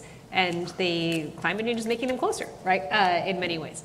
And then you have the, um, the Russia-China dynamics that are yet to play out in the Arctic, right? So we are looking at where we're looking right now. Um, but what is part of the Russia and Chinese friendship in the future. Kola, you know, somewhat untouched in terms of like the really important sexy stuff up there, humans touched, but like expensive stuff not touched. I think we have a lot to worry about um, in the in the high north and the Arctic in the future. But we have more friends to do it with, right? So I think with the Finns and with the Swedes coming in, in and coming in, um, I think we have a lot more knowledge, a lot more capabilities, and how do we look at this area that is next? I think it is really hard when we're looking at three different theaters at the moment to be to think about the relation of yet something on top of all of it. Uh, but I think we are going to have to, but it's expensive and it's uncomfortable um, and unfamiliar for many allies. So how do we see leadership for uh, the Arctic allies on this issue? How do we speed up activity? I think these are all really hard questions and important questions. And um, I'm not sure how much time the world will give us to think about them greatly. But yeah, so the, this, the U.S. is thinking about implementation. So we now we have we're thinking about beyond strategies to implementation. That's it's good to think about implementation, um, but we need to implement, right? And then we and we need to accelerate. And those are words that are I think are much harder to fund and to do. I also think we have uh, some unfamiliarity, um, some discomfort and a lack of vision of what Operation the Arctic really look like. First off, what are the actual threats? I don't think we actually know truly what the threats we'd be facing are. I'm not sure we have a good sense of what it is we'd want to influence, even if it weren't a defense mission, but a shaping mission. Um, and we, you know, it's not really a, comfort place for anybody. I also think we have a problem that there are sort of two visions of what the Arctic is. And when we say Arctic missions, I think we in the United States and Canada think our north. And if you talk to European colleagues, particularly in Nordics, they think their north. And those are two you know, connected but sort of distinct areas. And so I think we have a problem of competing visions or at least a lack of clarity about what we're talking about. That being said, I mean, we have seen some progress, and you probably know this as well as we do, right? Um, you know, the Nor- Norfolk JFC really is going to have, um, once it's fully manned, but is already sort of taking responsibility for the high north. Uh, you get exercises and training in Norway with a significant United States and UK presence in particular. I have heard talk about a freedom of navigations operation protect, perhaps sort of testing new Russian legal claims around the Northern Sea route. So there are is movements, um, but I will say I agree. It's an area ripe for uh, movement and for good thinking, and so hopefully people like you are working on this. I know I've spent some time thinking about this, but you know, it, the, it's not totally optimistic, but it's not totally pessimistic either, right? There has been self movement, but there can certainly be more. Would be what I would say. So I think there there are two key issues. It's a great question. Uh, as an Air Force officer, I was stationed north of the Arctic Circle mm-hmm. for over a year, commanding uh, Air Force units across Greenland. So I, I, feel like I've had a focus at least on yeah. the North since the early 1970s. But the first issue is I think we're a bit conflicted as to whether we still have hope that the Arctic can be a zone of cooperation as opposed to a zone of confrontation. And that sort of plays out in the, the whole diplomatic question of how we regard the, the Arctic Council and our participation in it. And then the second is, is whether NATO itself, in terms of command structure and organization, decides to prioritize deterrence and defense in the Arctic. And we're at a real inflection point here with Finland and Sweden coming in. And it's one reason why I feel so strongly that we need to create a a distinct Nordic command because we know the Norwegians and the Danes are already running ahead to try to increase force presence in the Arctic. But there's a real opportunity here. So to take Finland and Sweden and put them under Brunssum and orient them towards the east from the Polish border, I think it's a missed opportunity in terms of the challenges we face in the Arctic. Not that that decision's been taken, but, but I hope they get the decision right. If I could maybe just add on to that. Um, so I think the the general feeling is, and, and we're of course waiting for SACEUR's um, final recommendations on the new NATO command structure, which will be delivered uh, also in the Washington summit. But I think there's a pretty strong consensus that the, the Nordic countries are going to have to stay together and that, that JFC Norfolk will be the focal point for um, Arctic thinking. Um, but you know, the Arctic is not an area that is unfamiliar to uh, to NATO or to allies, right? It's actually more prepared uh, to work with Finland and, and soon Sweden to address, to better address the security concerns in the region as an alliance. Um, and of course, you know, for those of us who think about the strategic deterrence uh, and nuclear forces of Russia, the Kola Peninsula and the High North is of critical importance. And, and so we're going to have to think about um, you know, the, the strategic competition that is clearly uh, developing in the high north. We're going to think both how to how to manage escalation dynamics that are going to that are going to come to the fore, um, particularly you know because we do now have a quite a large border uh, land border between Finland and uh, and Russia that is you know part of our, our NATO strategic thinking. And so, you know, these are all um, elements and, and adaptations that are being thought through right now um, with the ascension of Finland and soon to be a session of Sweden about how we're incorporating all this thinking into our into our planning and force structure. But I think the good news is is that we have now and are soon will have the countries that are most capable uh, of thinking about those risks uh, and and what we need to do as an alliance to successfully deter uh, and compete with Russia in the high north inside of NATO. Um, and we will and already are relying quite a bit on certainly um, Finnish expertise and Swedish expertise uh, as we're thinking through all of these uh, various scenarios and, and, and having both Finland and Sweden as part of uh, NATO is just going to be tremendous value and benefit uh, to the alliance as we're thinking through how we deter and defend, um, you know, this kind of broader geographical footprint. But but it's not it's not something that we haven't thought about before and, and didn't know that it was an important region. We, the Arctic has always been part of our calculus. But but I do think that with the climate change. Um, and with the um, you know, northern sea route opening up, potentially, you know, this is an area where we are going to, that is going to be um, contested by Russia increasingly, and they're going to contest uh, and, and, certainly push back on our ability to operate uh, there. And you know, their their whole concept uh, for defending the high north is to is to constrain our uh, our ability to act in the region. So, so I think there's obviously work to be done, but I think we're incredibly well positioned now as an alliance with Finland and Sweden as part of our as part of the alliance to be able to do that work and do it effectively. And that's both from a capability standpoint, I'll also point out a capability standpoint, a defense industry standpoint. I'm thinking about the Finnish uh, icebreaker capacity here. Uh, the capability side, Sweden in particular has high experience, and high knowledge of operating not only in the high north, but operating in the high north in pretty desolate, low infrastructure conditions. And so, borrowing on those capabilities on the defense uh, industry and on the sort of analytical power that's put into the Arctic in these countries, I think is going to be really key for the alliance once they're both members. Well, thank you all. Um, I, again, thank you, Jessica, for, for joining us from Brussels uh, virtually here at CSIS. And I want to say a massive thank you to you three for joining me today. And also a thank you to everyone for joining us both online and in person. Uh, please join me in uh, saying thank you to them. Thank you.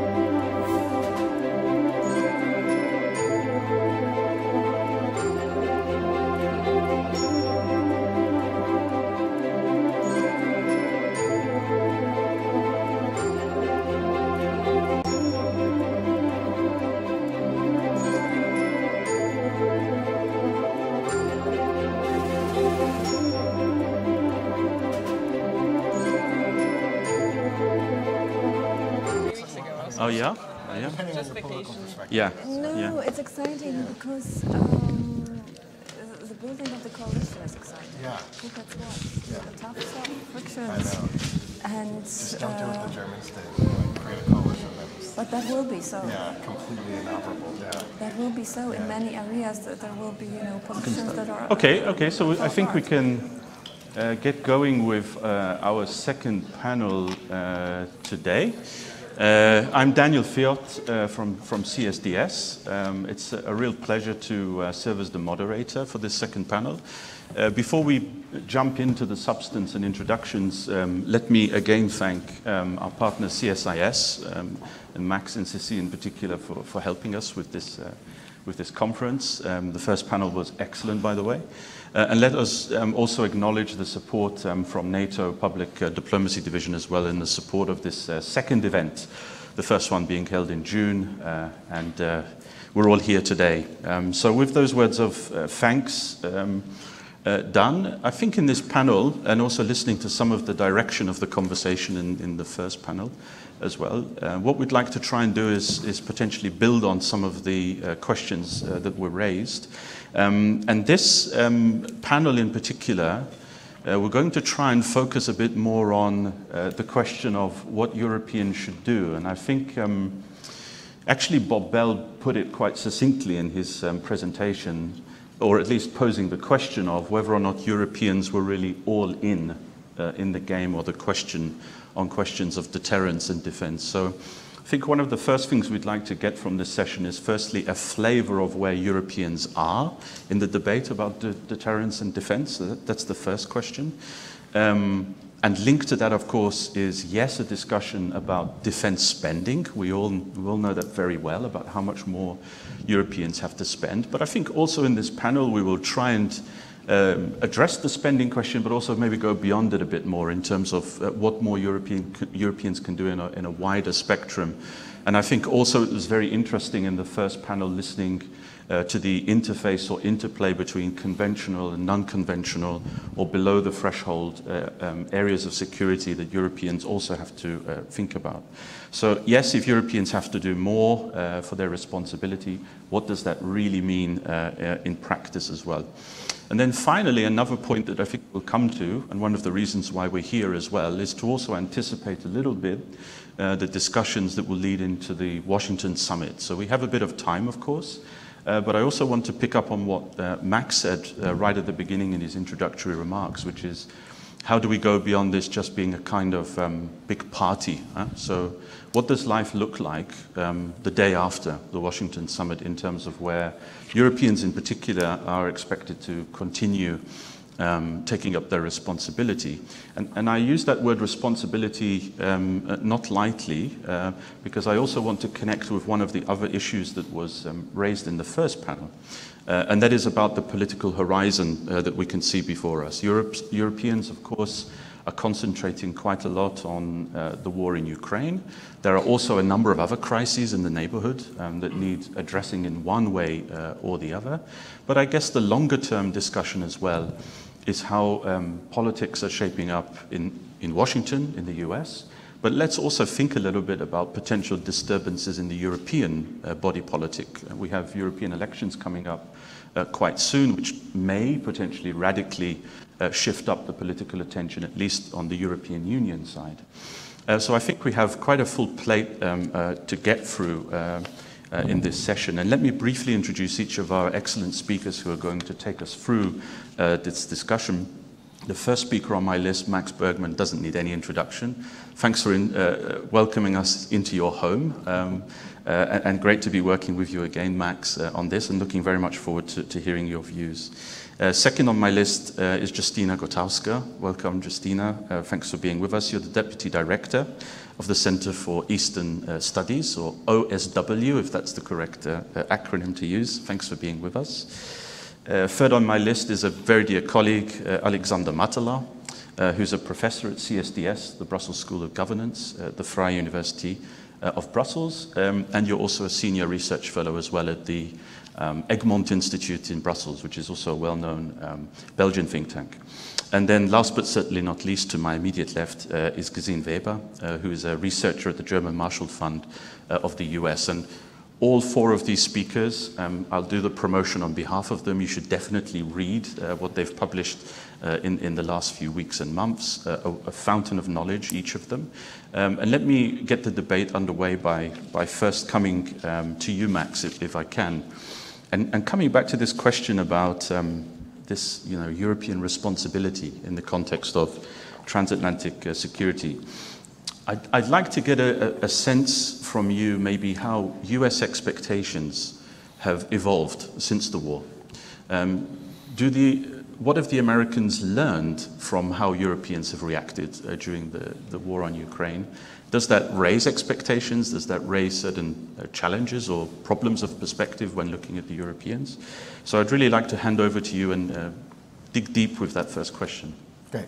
Well, thank you, Daniel, and thank you all for being here. So I think American perceptions of Europe have evolved and have uh, improved, but I think it started from an incredibly low base. I think the overall American assumption is that basically the Europeans were deadbeats, that uh, America did everything for their security. And, you know, and I think Americans would, would travel to Europe, would, would go to especially Western European capitals and say, my God, you know, this is wealthy, you know, wealthy countries, uh, and yet not quite understand why Europeans uh, then contributed uh, so little to American war efforts, whether that was in Iraq and Afghanistan, and I, am well aware that NATO was there uh, in, in Afghanistan. But I think the broader conception was just the Europeans refused to, to spend.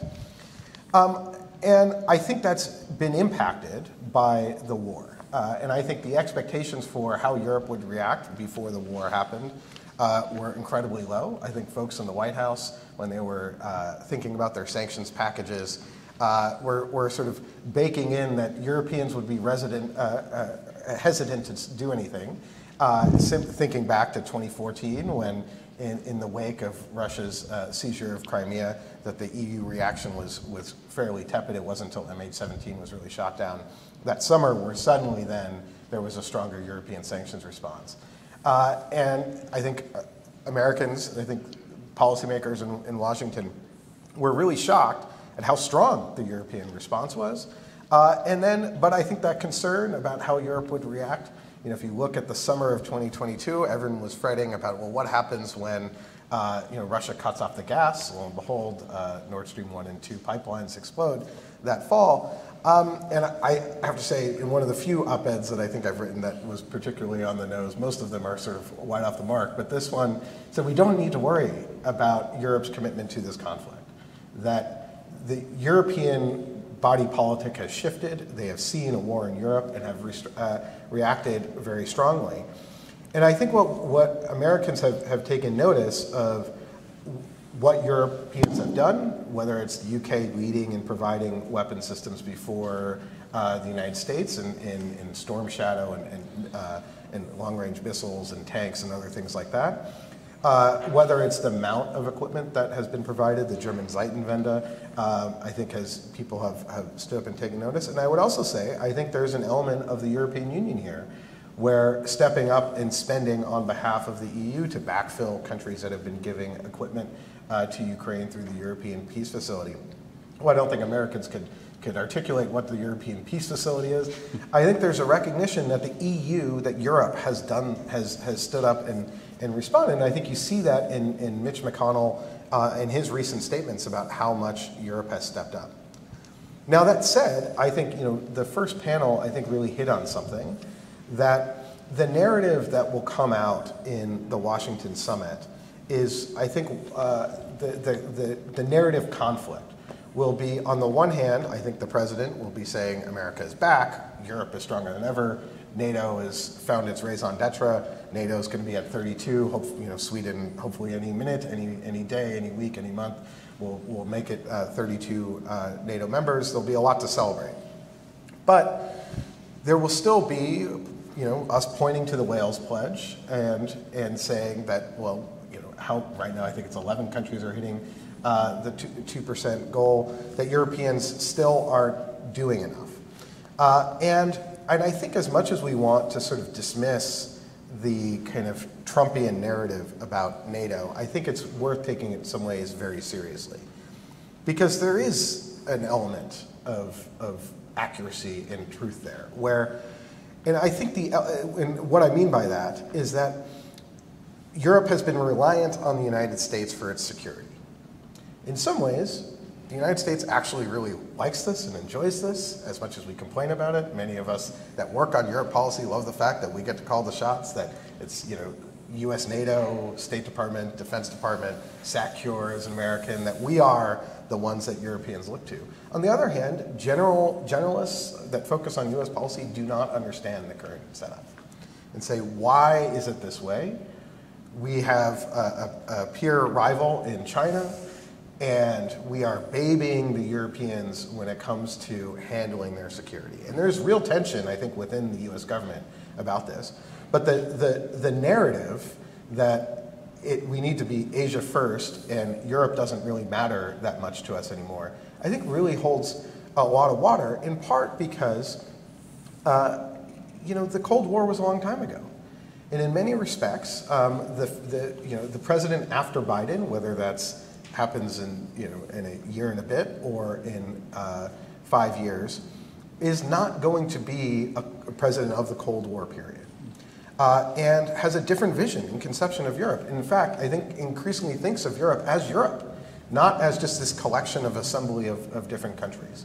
And I think the one thing that I would maybe throw out on the table here is I think when we think about low European defense spending, I think the thing that we have to begin to wrap our heads around is that it's because for many countries in Europe, NATO has solved the problem.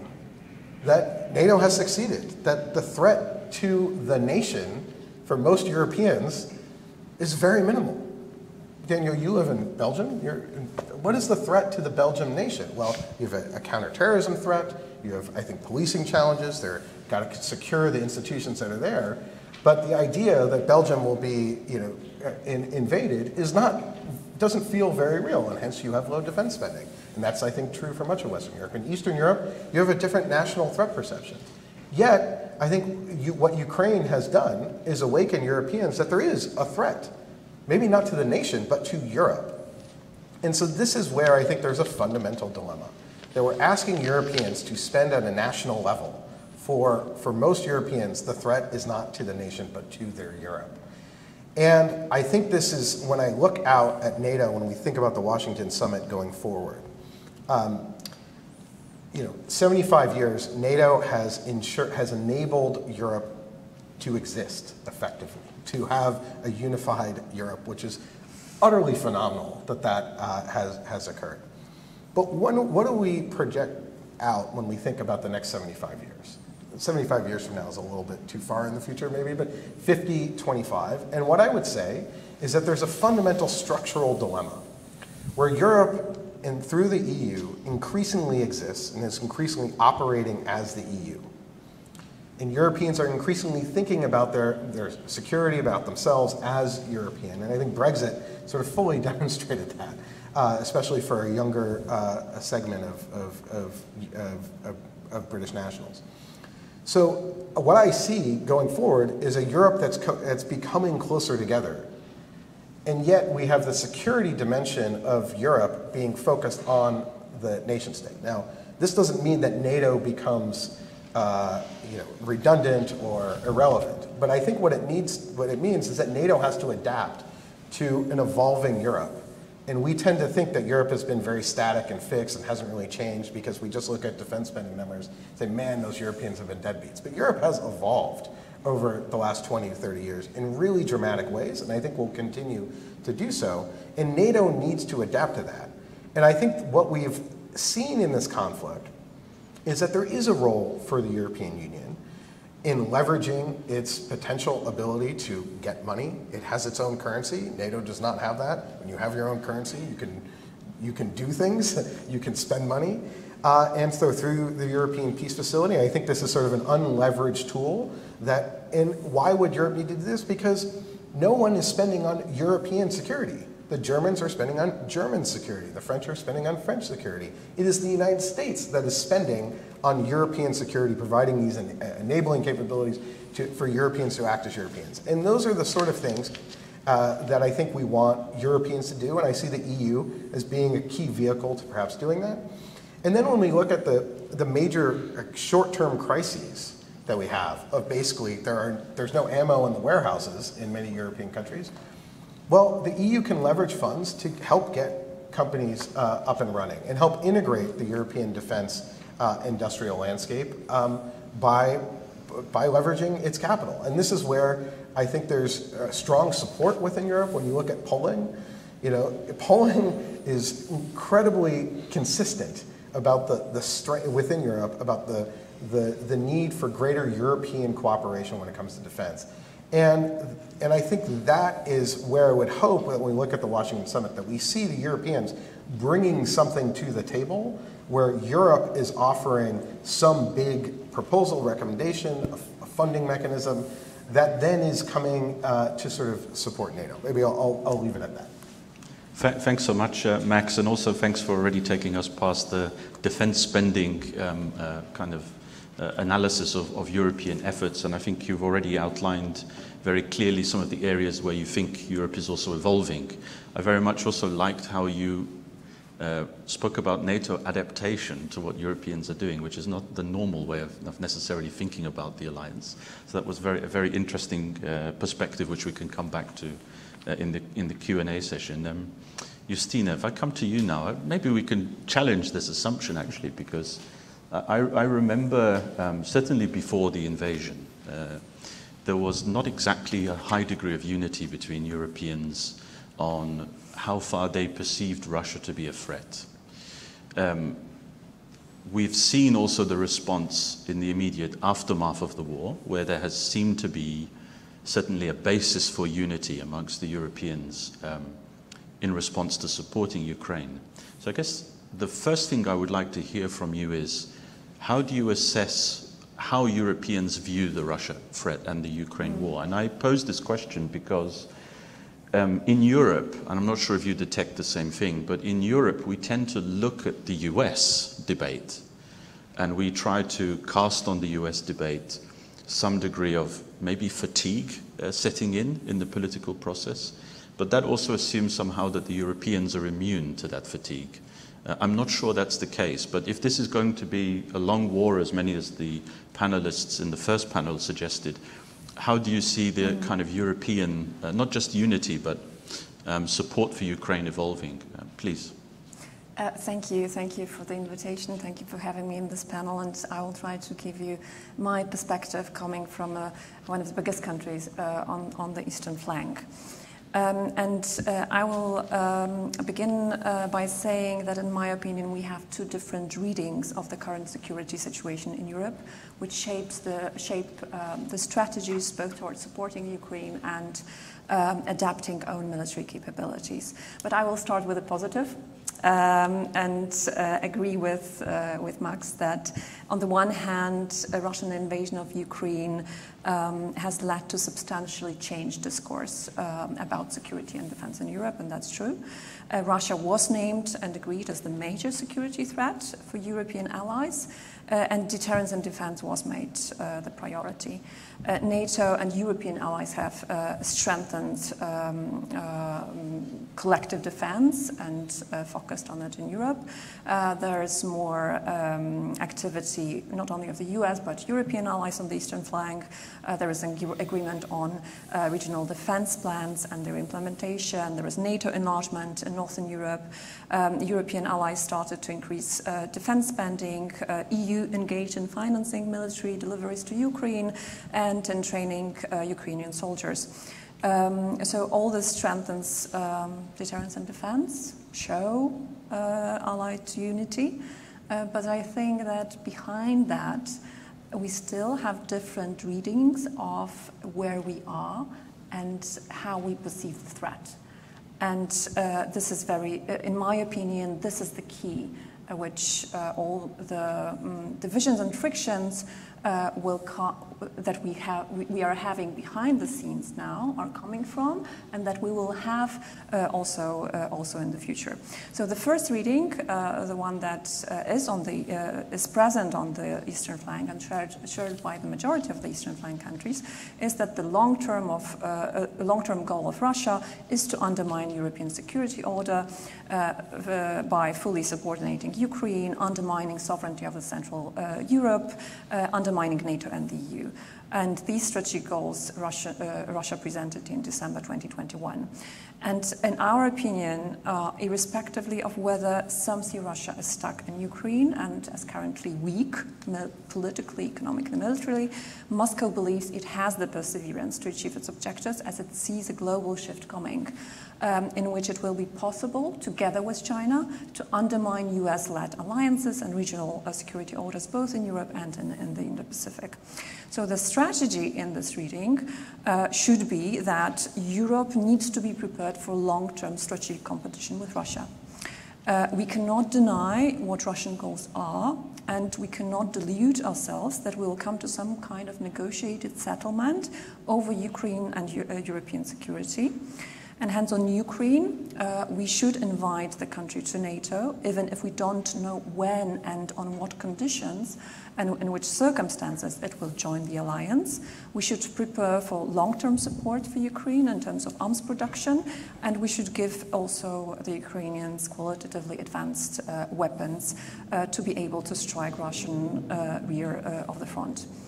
Um, Within NATO, we should be serious about the defense of NATO territory and include not only hybrid but also conventional Russian armed attack on NATO allies in our worst case scenarios and be ready to repel such aggression.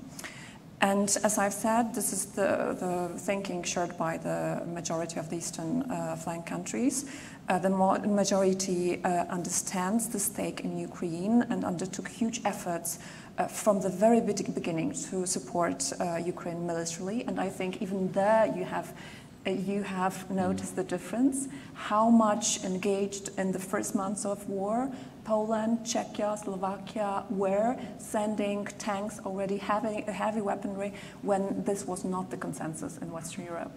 And I think due to this effort, Ukraine survived, Ukraine maintained itself, and then uh, this time which uh, uh allowed uh, Western Europeans to, uh, to think uh, through their strategy towards Ukraine, and then now we have them, Germany, French, and France, and others putting, um, increasing the deliveries. So now the focus of the Eastern flank countries is on replenishing arms and equipment, strengthening own military capabilities capabilities and increasing the armed forces as quickly as possible. Because the understanding is that Russia might rebuild its uh, military capabilities much and reconstitute much quicker than the West uh, um, in general um, anticipate. And hence, we have 3% of GDP for uh, defense spending in the majority of the Eastern flank countries, with Poland um, uh, spending. Uh, um, 3.9% uh, this year. It's uh, first on, on the NATO, uh, NATO list now. Um, and uh, the pressure from the Eastern flank countries to implement the regional defense planning within NATO to the fullest. And, but then we have the second reading of the situation, uh, where uh, there is an acknowledgement in Western Europe that uh, of the Russian strategic goals vis-à-vis Europe. Um, I think no one questions that, but I think that people don't believe that these Russian goals are feasible and um, uh, that uh, there is a belief that Russia is simply too weak and will not confront NATO directly in the future. Um, so we have, uh, mm, vis-à-vis Ukraine, we have uh, um, a, a rather uh, careful um, conflict, strategy of conflict management uh, that includes self-deterrence um, from uh, earlier and much more substantial help uh, uh, to Ukraine due to Russian nuclear pressure. Uh, and I think that the strategy, as, uh, as I understand discussions in Western Europe, is that the time will come when Russia will be willing to strike a deal on Ukraine and on uh, European security. and we will see will achieve then some state of equilibrium in European security. And uh, then, in such a situation, Ukraine's uh, NATO membership will be a bargaining chip um, in these negotiations, and it will be rather unlikely that the country will join NATO. Um, and uh, with regard to NATO's deterrence and defense, I have the impression people don't believe that will, worst case scenarios uh, uh, will materialize. Um, that uh, Russia is able and politically willing, military able to go against NATO countries. Uh, but at the same time, I think that there is a conviction that uh, deterrence and defense need to be increased, uh, but not to the extent that Eastern flank countries think it is, uh, it is necessary. Um, and above that, I think there is an assumption that we might come back to arms control with Russia someday, cooperation with the OSCE, and maybe even a partial revival of NATO-Russia Founding Act. We discussed that uh, uh in, the, in the previous panel. And hence, the 2% uh, uh, of GDP for defense spending is uh, being questioned. We see the debates in Germany. Uh, we see econ economic problems, other priorities that are coming in, social, uh, societal debate that are uh, people, uh, West European society, uh, societies that are wary of the war. Uh, and would like to see peace negotiations coming. And all that, that influences also the political decisions. So there is also, um, comparing to Eastern flank countries in Western Europe, I think there is um, no notion of necessity to quickly uh, develop and invest in military capabilities because there is this belief that uh, Russia will need uh, years to reconstitute itself. And um, from our perspective, uh, this is problematic and puts us um, uh, before difficult uh, questions on how to uh, how to develop military cooperation and how to increase deterrence and defense uh, in the region. And I think for now I, I stop here. Yeah, thanks so much, Justyna, and also for uh, maybe giving us a bit more of an indication of what the Russians, are, how they're reacting to our own dynamics as well, which, as you said, in, in terms of the discussions about potential arms control, uh, peace negotiations, uh, Russia, in a way, biding its time for certain political dynamics to maybe unfold, mm. um, is, is one of the dimensions which I think gets lost maybe also in the uh, European discussion. So thanks so much for, uh, for raising that um, uh, in this panel. And um, Alexander, I want to turn to you because um, the word deterrence was used. Uh, we have been using the word deterrence uh, uh, on a few occasions already, and I think also in the first panel, um, a few of the speakers also referred to some of the um, capability gaps um, that, that NATO faces in the European theatre. Uh, and that was also fleshed out in terms of both conventional uh, means, but also non-conventional uh, uh, uh, deterrence means as well. So I want to come to you um, and get, first of all, an understanding of how you see European allies having adapted to um, NATO's core mission. It sounds odd to say adapting back to NATO's core mission, but there certainly has had to be a certain degree of um, mental adaptation before any discussion about investments, capabilities, etc.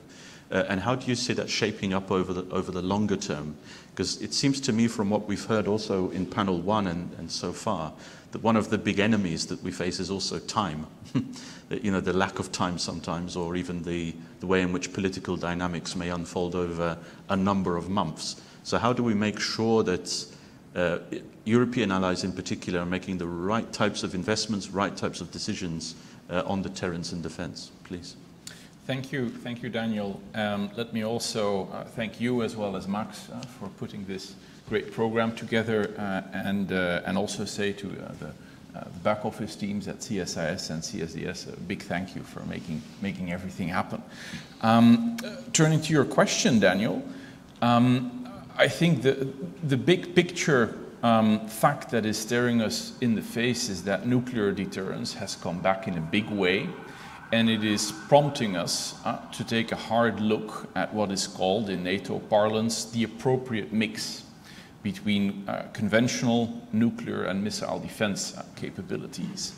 um, precisely because uh, we have really been focusing on the conventional part over the past uh, nine years, um, and the other two legs are to uh, a considerable extent lagging behind in, uh, in time.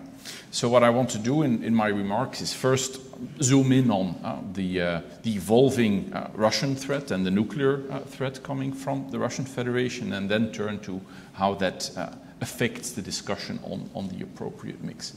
Now, you will all recall that when um, President Putin um, launched the so-called special military operation in the spring of um, 2022, it was preceded and immediately followed by nuclear signaling. Uh, the, uh, the Sarmat test uh, putting um, um, uh, Russia's strategic forces on a special combat duty uh, uh, regime. Um, and that was presumably meant to, to intimidate Kiev, to dissuade against external intervention, and it did not really work. But at the same time, it probably did instill a much greater sense of caution, of caution than would otherwise have, have been the case. Um, and, and that pattern of, of nuclear saber rattling also continued uh, in uh, the course of the year. It reached a second peak in, the, in the August September period uh, of, of last year. Uh, Vladimir Putin, in his annexation speech of the, the new Russian provinces, um, promised to defend the, the Russian um, uh, the Russian territory with all possible means, and this is not a bluff, remember? Um, in parallel, really in the same time frame, um, growing concern about Russian uh, nuclear use in Ukraine prompted the United States and, uh, and some allies to explicitly warn Russia that uh, such uh, nuclear use um, would, uh, would entail, in the words of Jake Sullivan, catastrophic consequences for Russia. Hmm? There was high stakes uh, nuclear signaling uh, going on. And although that has sort of um, moved a bit into the background uh, in the past year, it is good to bear in mind this may well return, especially if or when Ukrainian forces um, succeed uh, on the battlefield in terms of uh, reclaiming um, uh, now occupied territories. And even if it doesn't immediately return, that signaling that has occurred has really put the limelight on the fact that Russia disposes of a great variety of escalatory options that provided with um, the means to completely and dramatically overturn conventional battlefield outcomes. And that is really, uh, in my view, uh, driving the whole um, appropriate mix discussion because if we also look at how the Russian threat evolves, its land forces uh, have now to a considerable extent suffered combat attrition, but that is much less the case for its air force, uh, for, its uh, for its navy, and its, its nuclear arsenal remains intact. And as a consequence, um, uh, nuclear escalation dynamics also constitute uh, the, uh, the one big um, area of competitive advantage that the Russian Federation still, uh, still holds.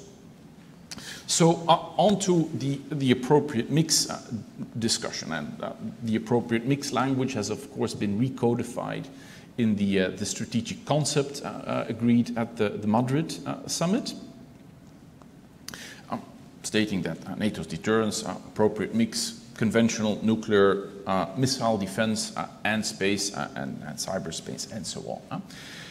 Now, if we zoom out, NATO's adaptation since 2014, since Crimea, has really uh, dealt primarily with the conventional leg. Uh, the conventional uh, force adaptation started uh, from the Wales summit. It's dramatically accelerated um, uh, at Madrid. Uh, defend every inch, draw up the new regional defense plans um, that have now been approved at, at Vilnius. So the military planners have done all the data crunching on the conventional uh, deterrence and defense part of the story. They know what capabilities are needed. That can now be apportioned uh, to um, nations through uh, the defense uh, planning cycle, and that channels uh, and gives purpose to the, the defense investments that uh, NATO allies uh, and the European allies in particular, they are making it. And I know that uh, some nations are still seen as, as laggards uh, because of uh, the, the 2%, etc. But let me invite you to pay attention to what's going on in real terms in the defense budgets of actual ally, individual allies. They're being doubled, tripled, quadrupled in some cases, especially if you also take into account uh, what is still to come in the years ahead, but that is really already locked in in terms of uh, acquisition um, cycles. So um, even though I, I, will readily admit uh, more is needed, that effort needs to be sustained, but I'm actually pretty confident that um, over, uh, over the years we will see much more capable uh, European, um, uh, European militaries uh, in, in the conventional domain. Uh, so that's, that's the good news. Now, unfortunately, uh, let me um, turn to what is, uh, what is still missing. Because if you then zoom in on the nuclear part of the story, it didn't really start yet in 2014, but it only took off in 2016 at the Warsaw Summit, very um, more hesitantly. Um, the strategic concept uh, only sort of uh, codified uh, the, the nuclear acquis, if you will, and it was only uh, last summer at the Vilnius summit uh, that heads of state and government commissioned um, the updating of, of planning to increase the flexibility and adaptability of NATO's nuclear forces. So while the conventional planning work has really already come full circle. The nuclear planning work is only just starting, and, it, and that is really one of the big deliverables, uh, the initial work uh, for the Washington, the Washington summit. And that is also hitting home uh, in, in different European capitals. I mean, if you uh, uh, take the, uh, the recently released German national security strategy, adopted by um, um, a social democrat uh, led government involving the Green Party, publicly and strongly reaffirming that uh, NATO's nuclear deterrence is essential to European security, strongly recommitting to the nuclear mission, uh, to uh, continuing to fly dual capable aircraft, etc. So the, the debate is dramatically shifting. And I can tell you also in the, in the Belgian uh, Brussels scene, the, the, the, nuclear conversation is also um, changing very, very substantially. But I do think uh, that um, the, the new nuclear conversation that, is, that has started carries very uh, important capability um, implications uh, for two reasons. First, if NATO military authorities are tasked uh, to look at uh, the nuclear posture uh, again, taking into account that the Russian Federation today has an overwhelming advantage in terms of theater level nuclear systems. I think it is quite likely that uh, the analysis that uh, SHAPE will generate uh, will go into the, into the direction that um, NATO's nuclear posture uh, needs to become more robust, more survivable, uh, and more diversified uh, because it presently relies on a very minimalist um, uh, set of, of, capabilities that were really sort of conceptually designed uh, in the 1990, in 1990, 1991. Um, dual capable aircraft plus the uh, the B-61 uh, munitions. Uh, Jessica already referred to that. so I think we can assume that um, much more um, effort will be needed in, in, in, that respect. and, and second, um, if nuclear planning is being updated, that will also have um, major implications uh, for the conventional uh, capability set, precisely because uh, it are the same capabilities that underpin and enable the, the nuclear as well as the conventional posture.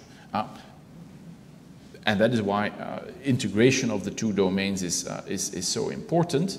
Um, this concerns not just uh, the dual capable aircraft, which are, as the name suggests, dual capable, uh, but of course also the tankers, also the long-range precision uh, uh, strike munitions for the suppression of enemy air defenses, all the ground infrastructure um, uh, the air bases, uh, all that needs to be protected by ground-based air defense, defenses, and so on and so forth. And that brings me to the, uh, the missile uh, defense part, part of the story, because uh, NATO's integrated air and missile defense, that's really the capability set uh, that, is, um, that is central um, to um, enabling both nuclear and, and conventional deterrence. So it is not a coincidence that we see all this interest uh, going into uh, the European Sky Shield uh, initiative uh, that, that Germany launched and that is gaining a lot of traction, including from my own country. And it is uh, also uh, not because these more Western European countries are um, not concerned about, about invasion, but the fact is they are running a real risk of, of intense bombardment uh, in Article 5 scenarios um, because uh, the ports of Hamburg, Bremerhaven, Rotterdam, uh, Antwerp, Zeebrugge, that are the key arteries for sustaining uh, the, uh, the forward presence uh, conventional posture. So it is not so, so difficult to understand why everyone is now sort of, yeah, we really need to um, uh, get serious on, on missile defense and talking missile defense, there's also the offensive versus uh, defensive uh, approach to that. Um, because it is much more cost effective to, uh, to shoot the archer uh, than to try to uh, intercept all, all the arrows.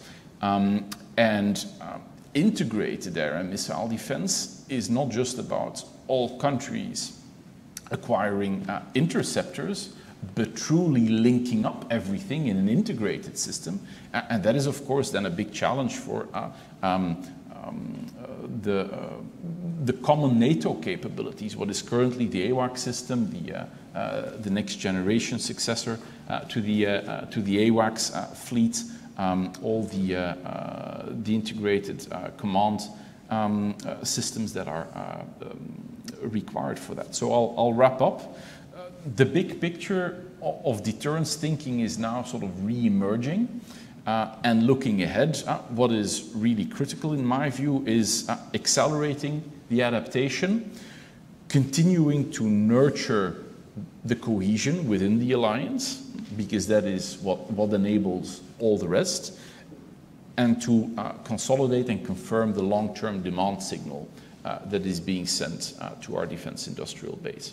I'll leave it at that and look forward to the questions. Thanks so much, Alexander. That was um, very, very clear, and also thanks for uncovering, I think, uh, another dimension which uh, tends to get lost uh, in the European discussion, but as you rightfully say, maybe in indirect ways is being addressed uh, in, in, the policy uh, in the policy realm. So, th thanks so much for that. And on that on that question of um, uh, deterrence um, and what it means in a in a in a broader sense. Um, I want, I want to come to you now because I'm going to try and pull some threads together, which was uh, Max's this opening um, points raised about um, how maybe Washington is looking at Europe now, um, which is an interesting way. So a role uh, or an increased role for the European Union uh, in, in that interpretation uh, of Europe. And also what we've heard from, uh, from some of the speakers on this panel, but also in the first panel, about also trying to develop um, Europe's ability to withstand um, or be, if you want to use the word resilient, you can, I guess, uh, one of the other buzzwords, of, of how do we improve um, um resilience and strength below the threshold of, of conventional military uh, uh, deterrence. So I want to give you the opportunity now to outline your views. Yeah, thank you very much, Daniel, and also uh, thanks to you and Max for bringing me here and to my excellent co-speakers for already outlining so much of the uh, big picture um, on that topic. So I think this entire question on a European contribution, um, particularly in the realm of um, deterrence, is actually, um, I think, a very salient question. Um, since the beginning of Russia's war in Ukraine, I think, um, in general, in the debate, something that we have been hearing all the time is that idea that there has been a clarification. The clarification that NATO is there for deterrence and defense, and that the EU is there for many other things, but deterrence and defense, or particularly deterrence, is something that um, should be in NATO. And this idea has become a bit, I would say, a rule, a rule of the thumb um, for, um, yeah, thinking about European security and defense. Um, I would, however, also say that um, particularly the argument that um, it is that, you, that, the EU should not even think about um, contrib contributing to deterrence um, and defense because anyway they don't have a like European nuclear force or anything. Um, I find that argument also often in this debate on strategic autonomy and this entire idea that basically strategic autonomy is dead because Europe doesn't have real deterrence capabilities. But um, to be very frank, I find that, that argument um, intellectually a bit lazy, um, and I would even say politically lazy as well, um, for the simple reasons that um, it sticks a bit to a very I don't want to say old fashioned, but let's say established definition of um, deterrence, which is deterrence is mostly um, yeah, something that is something extremely military and very much tied to conventional but nuclear um, capacities as well. And I mean, from a European perspective, it's also politically a bit lazy um, because we all remember very well, I think, the debates on collective defense um, that we have had during the first um, or during the Trump administration so I think there is definitely um, room to think about an EU role um, in deterrence in the um, Euro-Atlantic region. And I see different dimensions that um, this debate can take. I mean, first there is of course the very obvious um, dimension of deterring Russia. And um, I mean, in this regard, I think there is very little doubt that there needs to be a leading role of NATO in this regard when it comes to how can you effectively deter Russia. And we have already heard here a lot about uh, the capabilities that are being developed or should be developed um, further to do that. But I think, again, um, Max also mentioned how Europe has changed and how it is adapting. And I think that the EU already has a lot of good and important um, instruments that can contribute to building, let's say, a European pillar in NATO deterrence which is, for example, this entire work on using, um, doing the homework on capabilities, on using the CARD, the Coordinated Annual Review on Defense, to really identify the capability gaps and also to identify where can European allies step up or where, they, where do they have to step up um, in terms of nuclear defense and nuclear deterrence to better contribute um, yeah, to strengthening this European pillar in NATO as well. And for that, the EU can really be a great hub for discussions and also really doing all these analysis because there is a reason why there is a thing like a European Defence Agency. So why not use it um, for the mutual benefit? Um, furthermore, I also think um, that particularly with the implementation of the strategic compass, the idea of a rapid deployment capacity, all these questions, or all this is also tied to some extent to deterrence. Because when you know that you have um, a strong European force that can go somewhere if it has to, that is, of course, more in the conventional re con uh, realm than in the nuclear one. But um, building this capability, not only in terms of buying stuff, but also in being able to do things, um, I think is a very important element of that. Um, and particularly when we think a bit about more about the long term of European security and European security order and potential EU integration as well of Ukraine, that also means that the EU's external border will look quite different. And um, being able to protect European borders and protect EU borders is certainly also a part of um, thinking about an EU role in deterrence. Although, of course, um, I mean, at the moment, there is no illusion that um, a European nuclear umbrella could replace any kind of um, US nuclear umbrella over Europe in the near future. Um, although, however, on the medium to long term, I think that Europeans should have these conversations and should very openly reflect on how can not only the one EU European country, which is France with nuclear forces, but also how can the UK and France better contribute to doing a European or uh, to sharing the burden on nuclear defense and nuclear umbrella as the European contributors to that, and potentially also think about how could Germany, uh, which currently has this model of nuclear sharing with the US, develop, for example, a similar model with France. Also, how could Poland contribute to that? So I think that is not the debate that needs to be, or, or that needs to be held today, but on a medium to long term, um, that is certainly something that is important for Europeans, particularly in light of shifting US priorities um, to Asia or Indo-Pacific.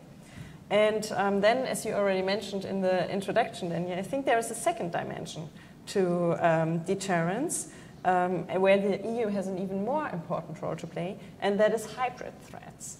Um, because um, when, it, when we look a bit at the institutional structures of how European defense is organized, and at the hybrid threats that Europeans are facing, and here I would think most importantly about things like, for example, foreign interference, but also terrorism, these area or these threats do not purely fall in a thing that, or in the foreign policy domain, but also in what or under the EU's CSDP, but also under justice and home affairs. Um, we really see this nexus of these two policy areas, so that um, basically EU action on these threats should also be conceptualized as a part of CSDP and then also as deterrence because when you're building a certain set of resilience or a certain threshold of resilience that also has a, has a component of deterrence in it i would say um, particularly when you also think about questions like interference like cyber capacities and so on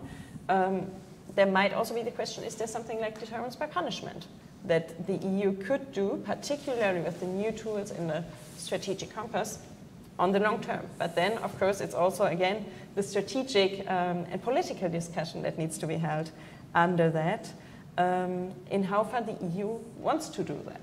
And in how far um, that is not something that policymakers prefer to do in NATO, which, again, is, the, is for me, again, a question of what is happening uh, here in the, in the US in um, yeah, autumn 2024, because we saw in 2016 how the Trump election has fueled the debates on European security and defense and um, also really fueled what has happened.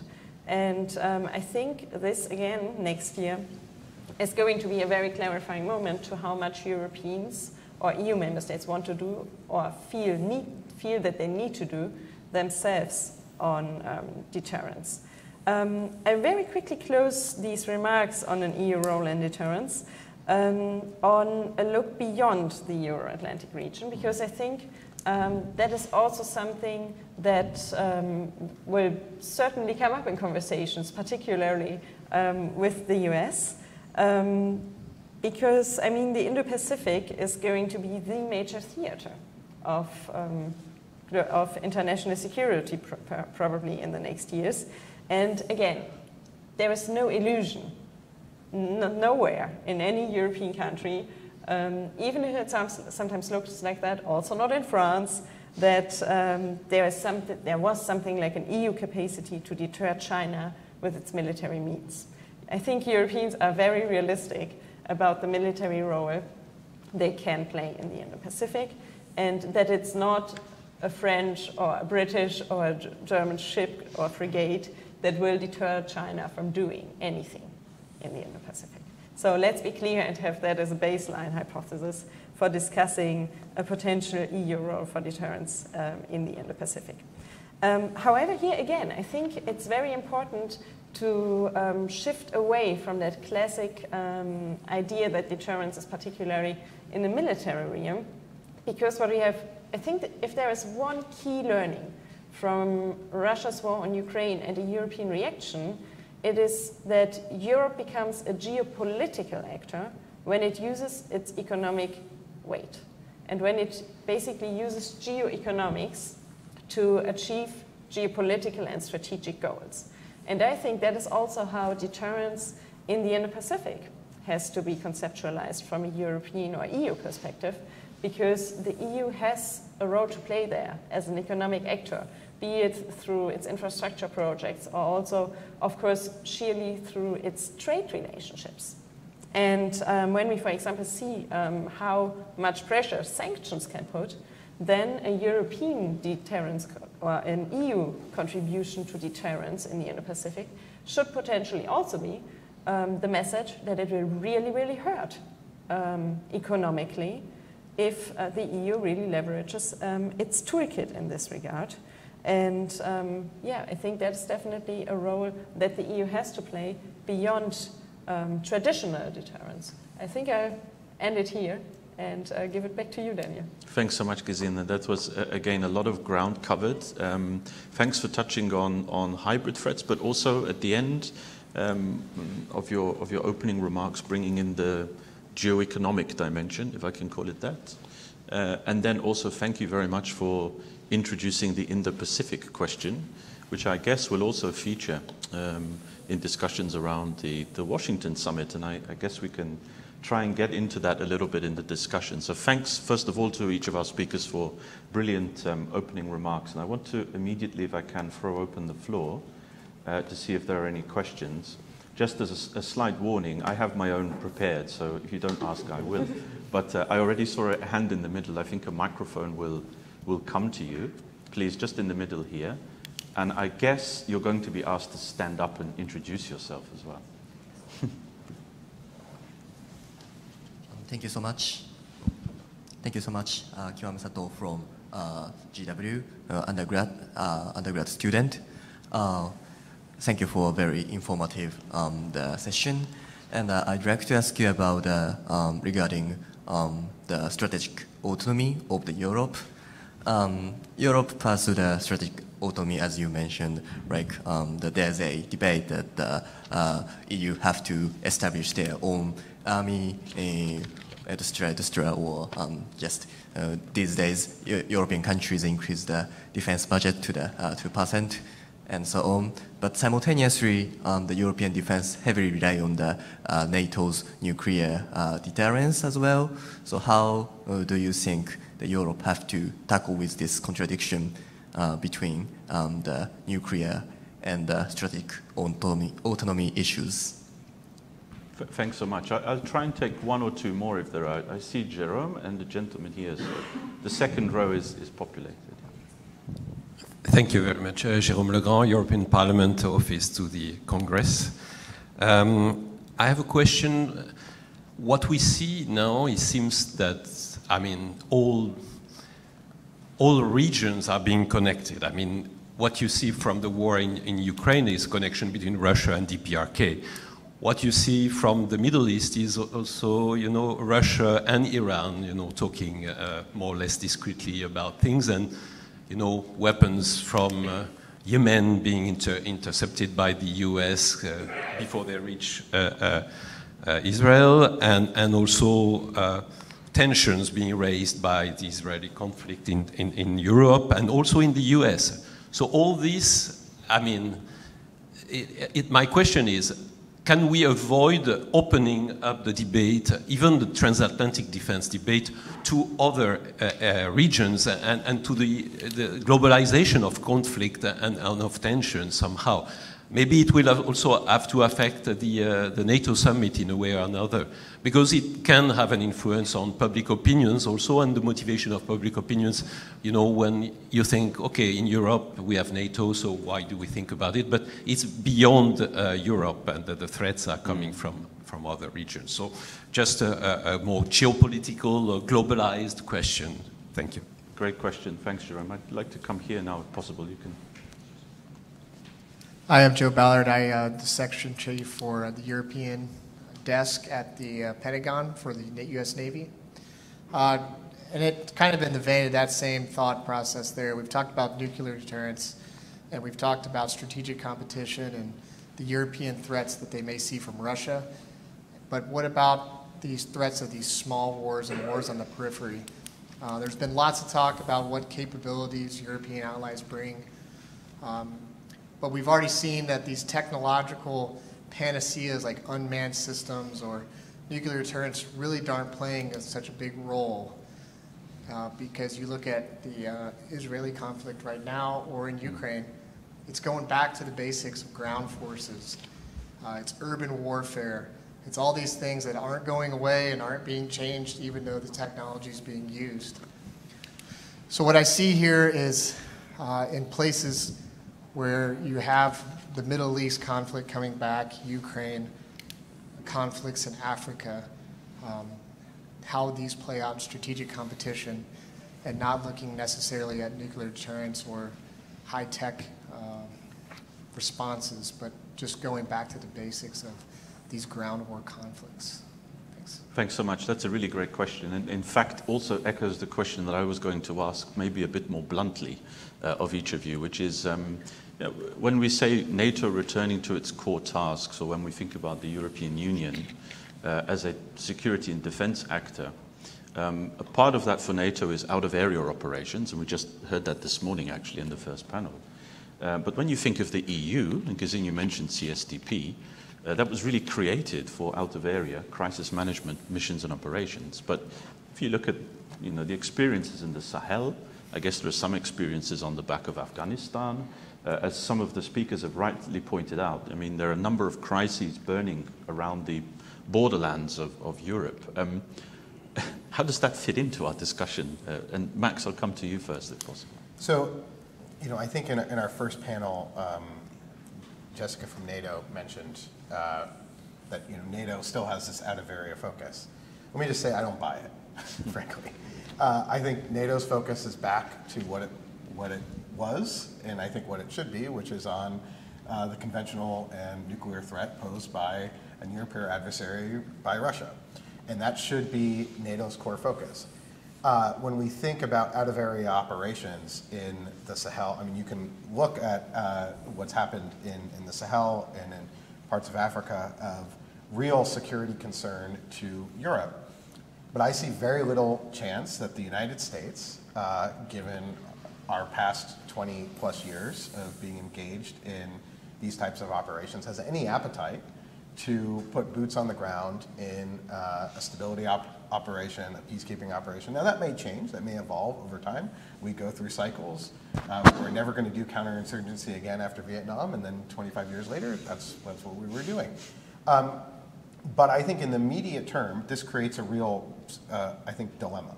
That if there is a situation, such as in Mali, where if there is a collapse and, and a, a real terrorism threat that then causes a migration crisis for Europe, who is the actor that is going to respond to that?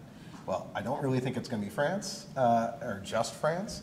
Uh, I don't see NATO really taking a lead role, given I think many in Eastern Europe would rightly say, uh, guys, we have this Russia problem.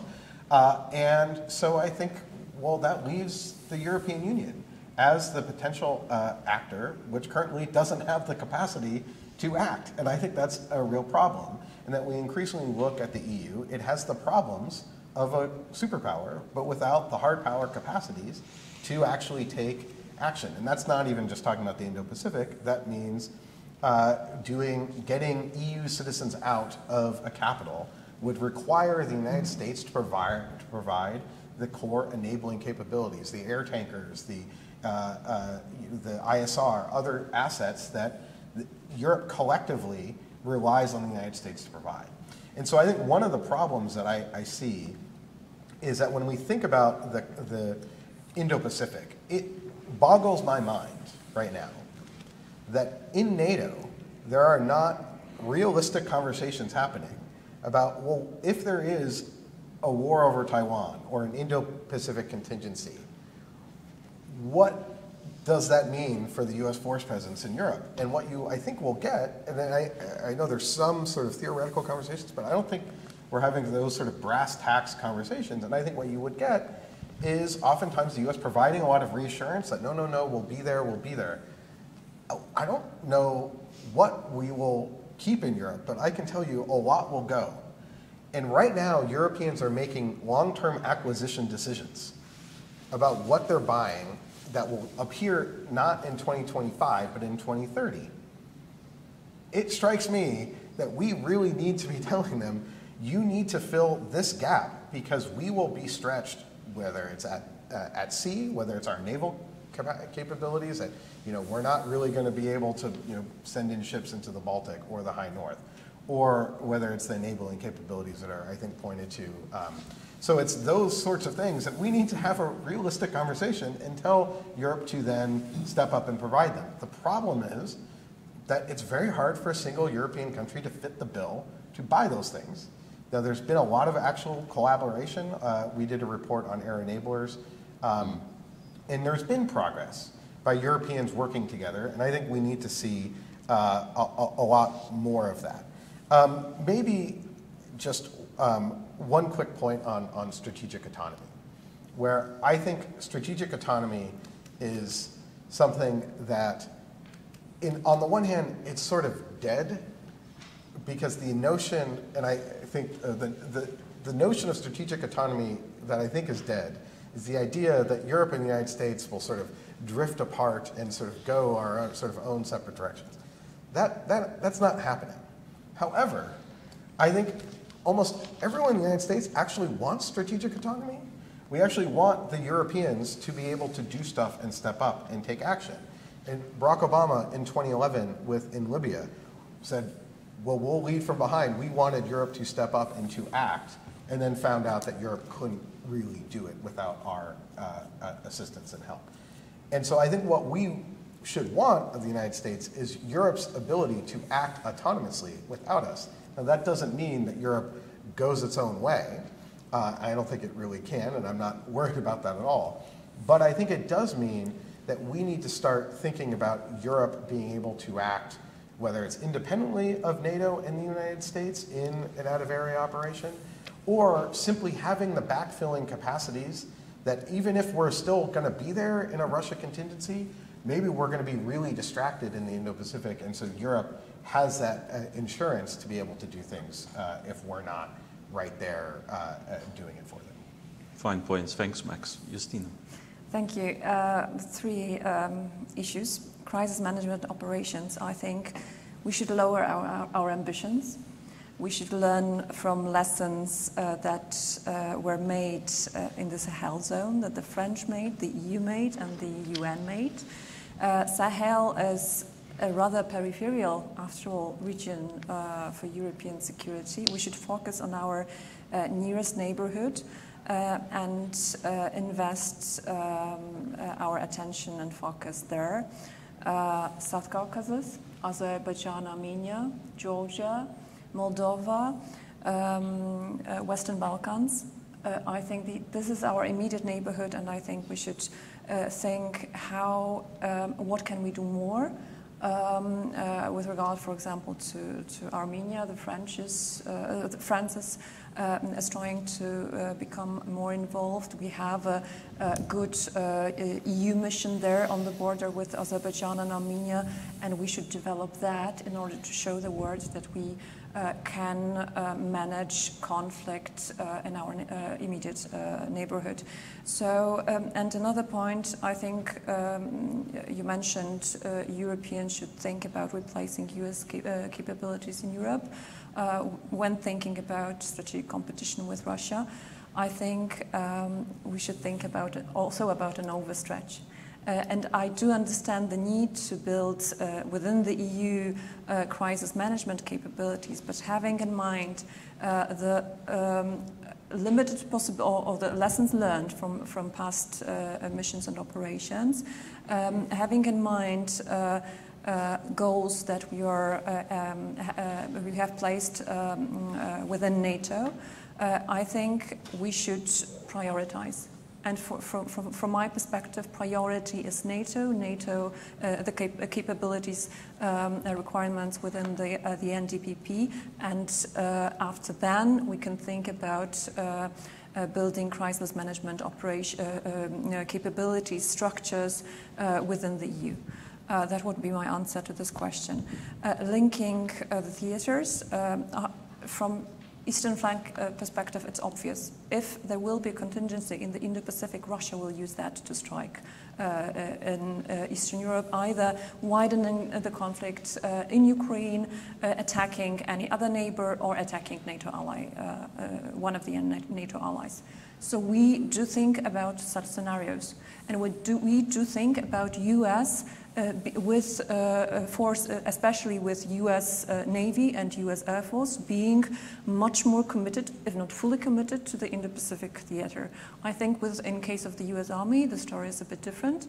U.S. Army is. Um, the, mostly involved in Europe and uh, on the eastern flank, and I think we can count to a large extent uh, on their presence in both theaters. Uh, as far as I uh, uh, as far as I understand, U.S. Army is trying to develop um, capabilities, capacities to do both.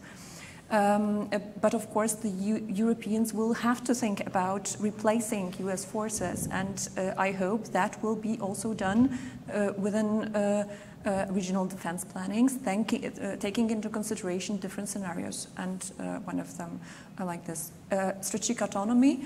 EU strategic autonomy um, understood as EU taking the task of collective defense I think this is simply not feasible uh, because it involves building structures, processes, capabilities that the EU, and that will take years, and we do not have time and money to do so. Uh, we need to concentrate on NATO and how the Europeans should um, uh, in, uh, invest much more uh, in NATO, engage much more um, within the alliance so that we change the balance of the 30 50% of capabilities the US right now is providing within, within NATO. I think that we should uh, look at the deterrence and defense in Europe also from the Russian perspective and think what Russia perceives, uh, how Russia perceives this deterrence. And uh, I personally don't think that Russia perceives the EU as a, an organization that can provide ultimate deterrence and defense in Europe, uh, especially in the nuclear, nuclear dimension. And therefore, the, uh, it's not I would rather bet on NATO and um, including much more the French into the NATO planning uh, um, with, uh, with regard to nuclear uh, than moving this conversation out of NATO uh, uh, to the EU. Thanks, Justyna. Alexander. Um, let me perhaps start with um, the question on cross-regional dynamics. Uh, because it is uh, a very important one, uh, both in the US defense uh, conversation and in the, in the NATO conversation. And I think the new family of, um, of NATO plans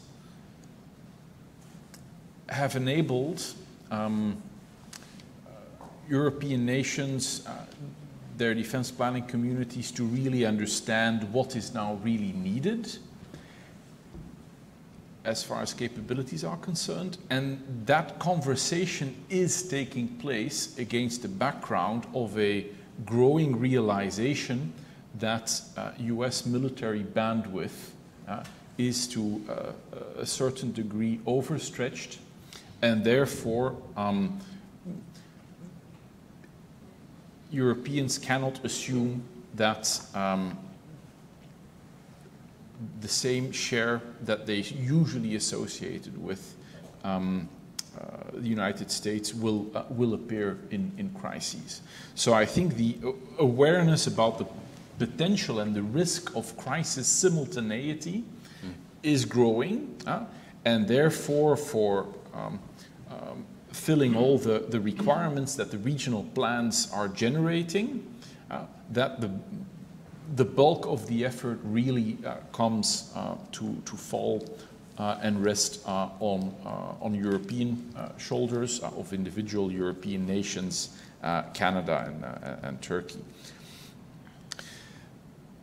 So I think also the impact of China's emergence is making itself felt in NATO, not in the sense that Europeans are going to uh, be heavily involved militarily in that theater, but the, the interdependence between the theaters, also as far as the, nu uh, the nuclear uh, um, uh, deterrence interdependence is concerned, that's an important one because it, will be especially also US theater level nuclear capabilities that will become substantially overstretched uh, in, in, in, in, simultaneous uh, crises. And you see the rhythm that uh, the, the, the, bomber task force missions are now sort of undertaking world, worldwide.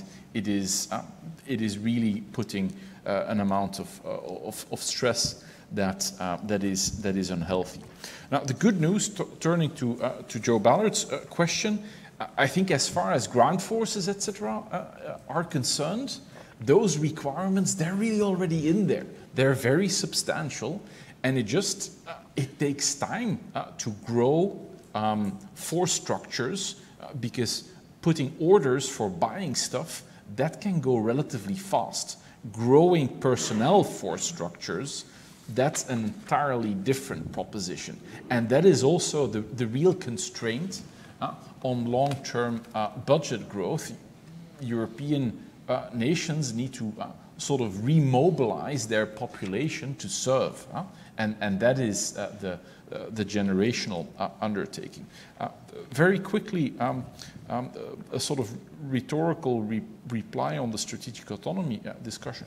If you would, in the US political conversation, propose let's, um, let's delegate commander-in-chief authority to the UN Secretary General. Hmm?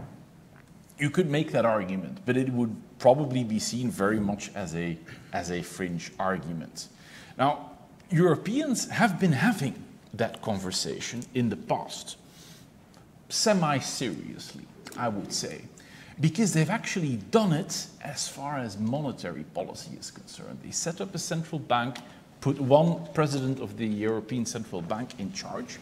So it is very illuminating uh, how the uh, the first big currency crises that the, uh, the single currency went through uh, developed in the time frame 2008-2009 uh, because that confronted all the member states of the, uh, of the economic and monetary union with the question what happens if the ship really hits the proverbial fan and the outcome was yes, the European Central Bank will do its best, but as far as managing debts is concerned, the bulk of the effort will remain on the shoulders of individual states. And that same dawning realization is now happening uh, in, uh, in the defense realm, uh, where ultimately nations, uh, European nations, are looking at defense seriously again and actually realizing, oh shit, the, bu the buck ultimately stops uh, um, and falls on the shoulders uh, of, of the states. In line, by the way, with the, the European treaties, the European treaty framework, you can only uh, change it uh, through unanimity, including the consent of of some countries that uh, think that the very idea of deterrence and nuclear deterrence is actually immoral and should be um, uh, or is considered illegal, etc. So that is really not happening. The buck stops and falls on the shoulders of the states. Yeah, many things to read to, to. that's basic. That's always um, a bit the treat of speaking uh, as the fourth pers person on a panel. So maybe I quickly start with this question of strategic autonomy. Um, this argument um, on, or, I mean, this argument is actually recurrent, that basically, um, to simplify it, let's abandon any idea of European strategic autonomy. Anyway, you don't have the nuclear capacities, so forget about that. But I think, of course, it's kind of the overkill argument, if you want to call it like that. But I find it a bit simplistic. Um, because as my co-speakers here outlined, I mean, if it really comes to the capacity to act, and the ability to act, and what I think is important to underline in this regard, really based on European interests and um, adapting or based on European strategy that um, basically helps Europe to pursue these interests, um, the fact of not being able to, in the last resort, have your own nuclear defense should not um, prevent Europeans to look for lower hanging fruits in other realms of international security. So, I mean, yes, of course, you can make that argument, but just because you can't have the highest level gold standard of, of European defense wouldn't mean that you shouldn't at least try to get a lower level and get things done there. Which brings me to that um, question of crisis management. Um, and there, I think um, the point that uh, Justyna pointed out is very illustrative of the conversations that Europeans will most likely have in the nearer future or in the not so distant future. And that is the question of prioritization. What should we do if there is like the need to simultaneously manage crisis? And um, I feel that since the beginning of Russia's war against Ukraine, we are not um, sufficiently having this discussion among Europeans. What happens if our security priorities or the security priorities of member states do not converge to the extent that they do at the moment? Um, since uh, February 2022, the picture is quite clear. The threat number one is Russia, and then there are also other threats, but the number one threat is very clear. Um, I think when we think ahead, like, I don't know, five years or so, um, the perception in member states that are not on the eastern flank might shift away from that.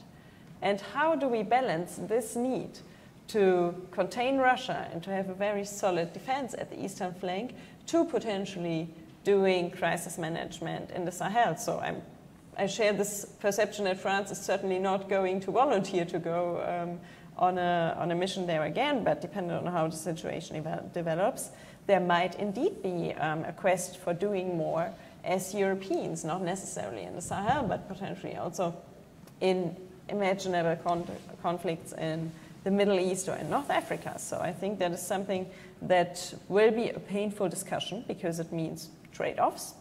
And um, I have the impression that Europeans are nowhere near uh, ready to have these dis discussions. Um, a last point I would want to pick up is this idea of small wars and um, strategic competition, because I think that also perfectly links to this question of prioritization. Um, which strategic competition is the state more, or are, Euro are individual European states most concerned about? Is it Russia? Is it China? In that context, again, how is the Russia China um, friendship, access, call it how you want, evolving? because I think that will also massively shape how Europeans um, or individual states prioritize in terms of um, security threats. And also, um, this, of course, will then also um, directly impact their willingness to, for example, get involved in crisis management.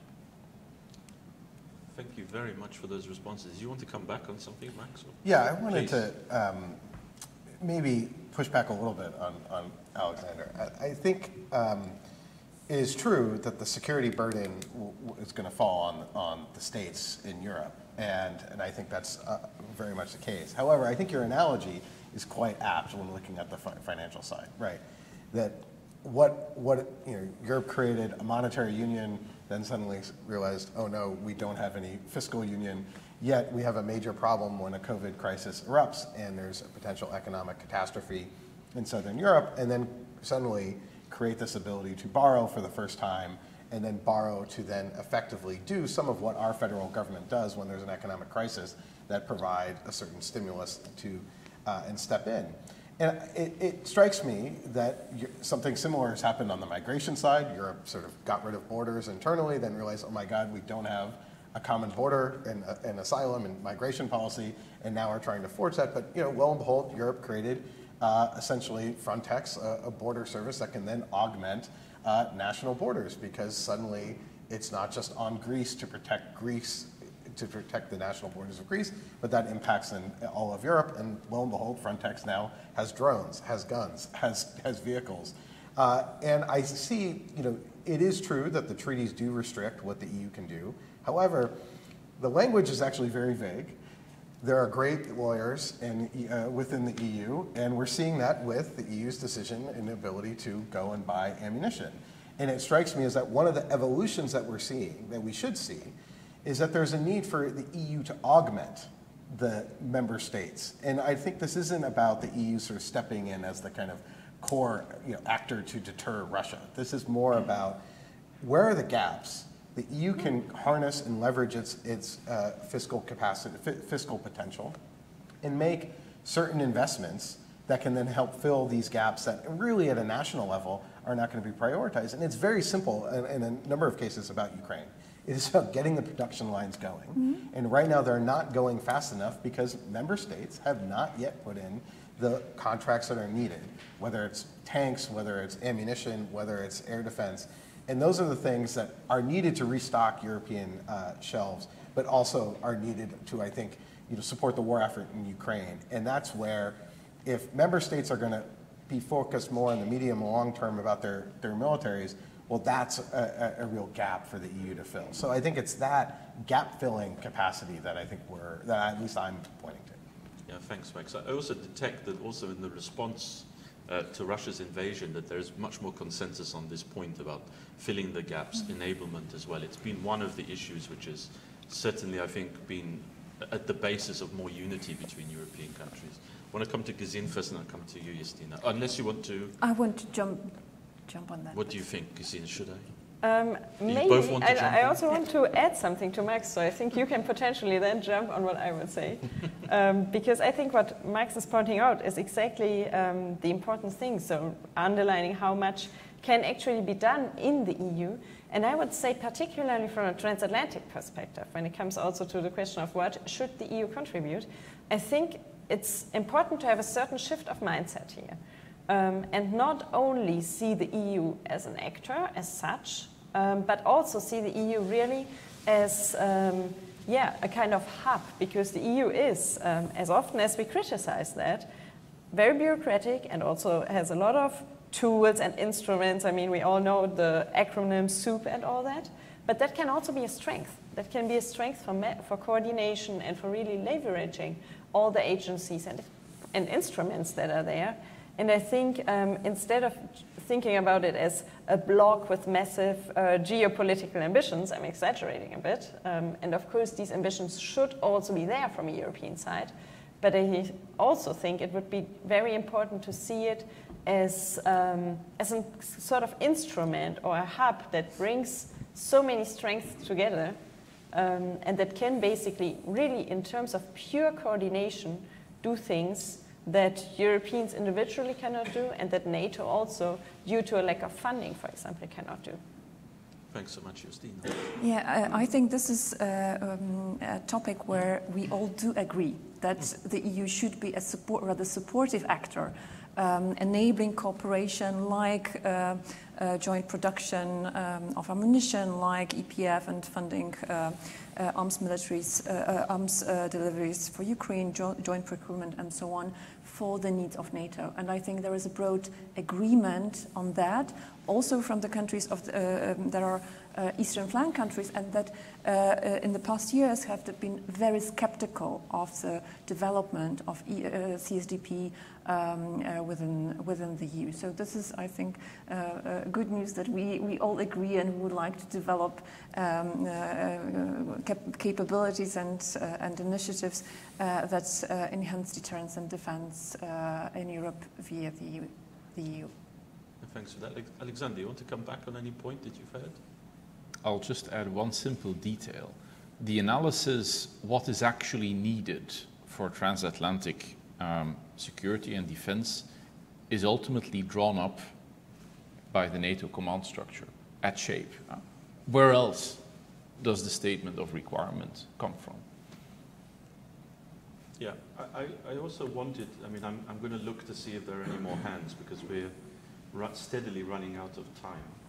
Um, but I did want to complicate the discussion even further, which is that I noticed uh, some of you, one or two of you directly mentioned China but some of you skirted around it by using the Indo-Pacific label. So I'm also wondering, I think, Justyna, you actually mentioned a really interesting point, which is the um, how China's actions will feature in Russia's calculations vis-a-vis -vis Europe. I just want to see if I can get one last word, because I, I sense it's going to be underlying a lot of the discussions even at the Washington summit, even if it's not you know, explicitly mentioned. Um, but how should Europeans think of China in this context that we've been discussing, also given that both in the strategic concept of NATO and in the EU's own strategic compass, China features in both of these documents, but what more are we expecting? Is it just um, Europeans simply ticking the China box to please a, a few uh, partners, or is there something of substance behind that, really? Who wants to tackle that easy question? Maybe we'll go in reverse order, and I'll, I'll give Max the last word. Sorry, Gesine, that was very unfair on you, but I'm fine with that. Um, so, um, is it just Europeans ticking the box on China, putting it in the strategic concept, uh, compass, so that the US is happy with that to see it there? I don't think so, um, because all the economic interdependence that Europeans have with China makes it an absolute strategic imperative for Europe um, both on the national level of individual states, but also really on the EU level, because, for example, trade is an EU competence, to think about how Europeans deal with China and overall the situation in the Indo Pacific.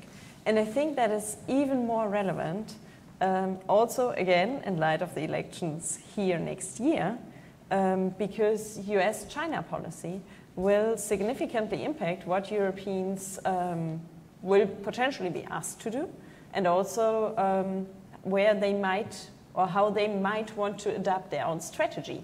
Because, um, for example, the narrative of um, that we hear from the Biden administration that defending Taiwan is in the national U.S. interest is something that is not shared, or militarily defending Taiwan is something that I think would would be signed only very hesitantly if at all, in European capitals. And um, in this regard, particularly when it comes to cooperation in the, in the Indo-Pacific, that also that all comes back to this definition of strategic autonomy and defining European interests and also defining European strategies based on these interests. So um, for Europeans, there is no way around the Indo-Pacific from a purely economic perspective. But this economic importance also needs to translate in security policy. And um, I feel that at the moment, Europeans are still very far away from having a line on how they wanted to react in case of um, an escalation there. I think we see hopeful signs, like, for example, naval coordination of the deployments of individual states. We had um, France, Germany, and the UK simultaneously coordinating their deployments. We see more and more areas um, for coordinated maritime presences that also are very present in the strategic compass. So we see that the reflections are going on. Um, and I don't think that it is only a lip service, but I think um, it is a conversation that is going too slowly and that Europeans really need to step up there, also because of this interconnectedness of theaters. Thanks, Gizzy. Alexander. Well, on China, um, the European Commission, uh, within its competences, uh, is now uh, um, proposing uh, and promoting uh, a de-risking agenda that is uh, widely welcomed. Um, it is a compromise, as all things in, in the European Union. Um, but I think the important bit here is that the EU's thinking on China is evolving. It's a dynamic uh, object. Um, uh, and, uh, and by and large, that process is, is now underway.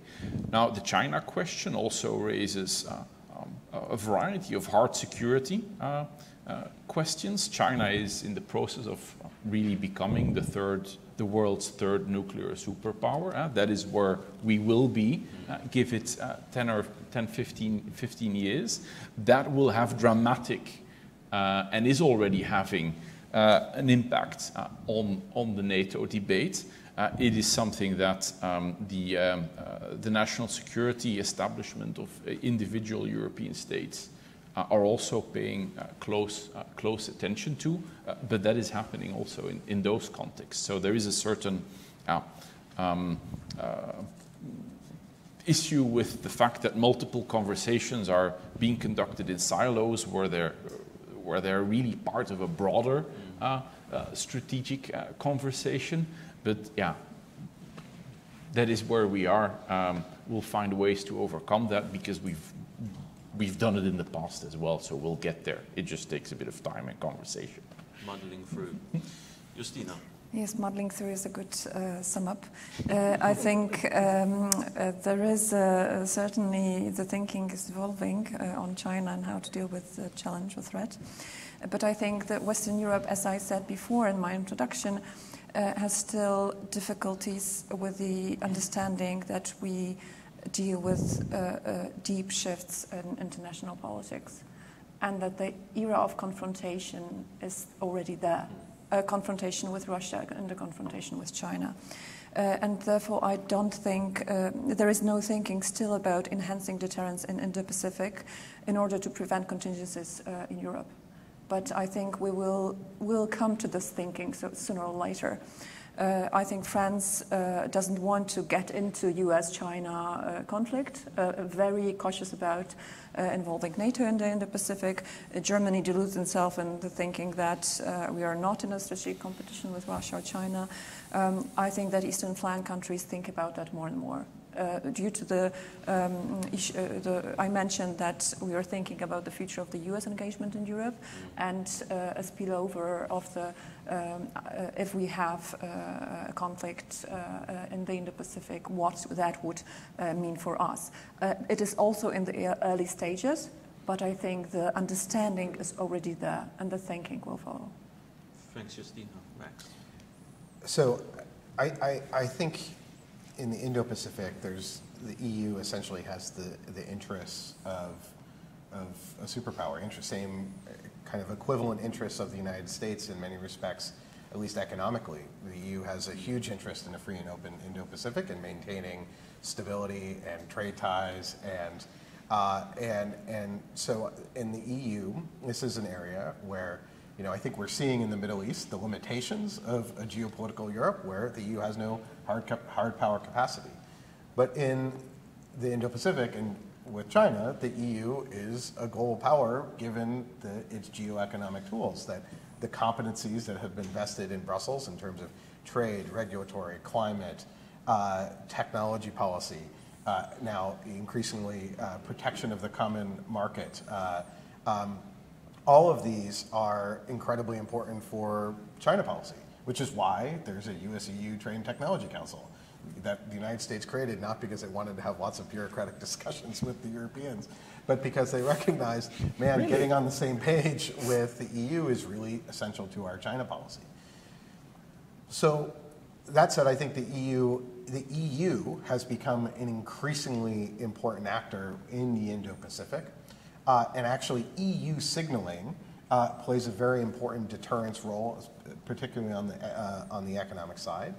And I think that also uh, lends itself to some degree on the military side with the freedom of navigation operations, the FONOPs, that European countries do. While a German frigate going through the Taiwan Straits isn't necessarily, you know, sending a huge deterrent signal, I do think that if these operations became more Europeanized, uh, and the EU is a, a, presence, I think, in Chinese thinking, that I think that, that matters. But that said, from a, from a hard security standpoint, I completely agree with Justyna that if there were, you know, was to be a conflict in the Indo-Pacific, the major question is what does Russia do? Then the question is what U.S. assets are taken out and what can Europe do to essentially uh, ensure that deterrence uh, remains and that it is postured in a very strong way uh, vis-a-vis Russia.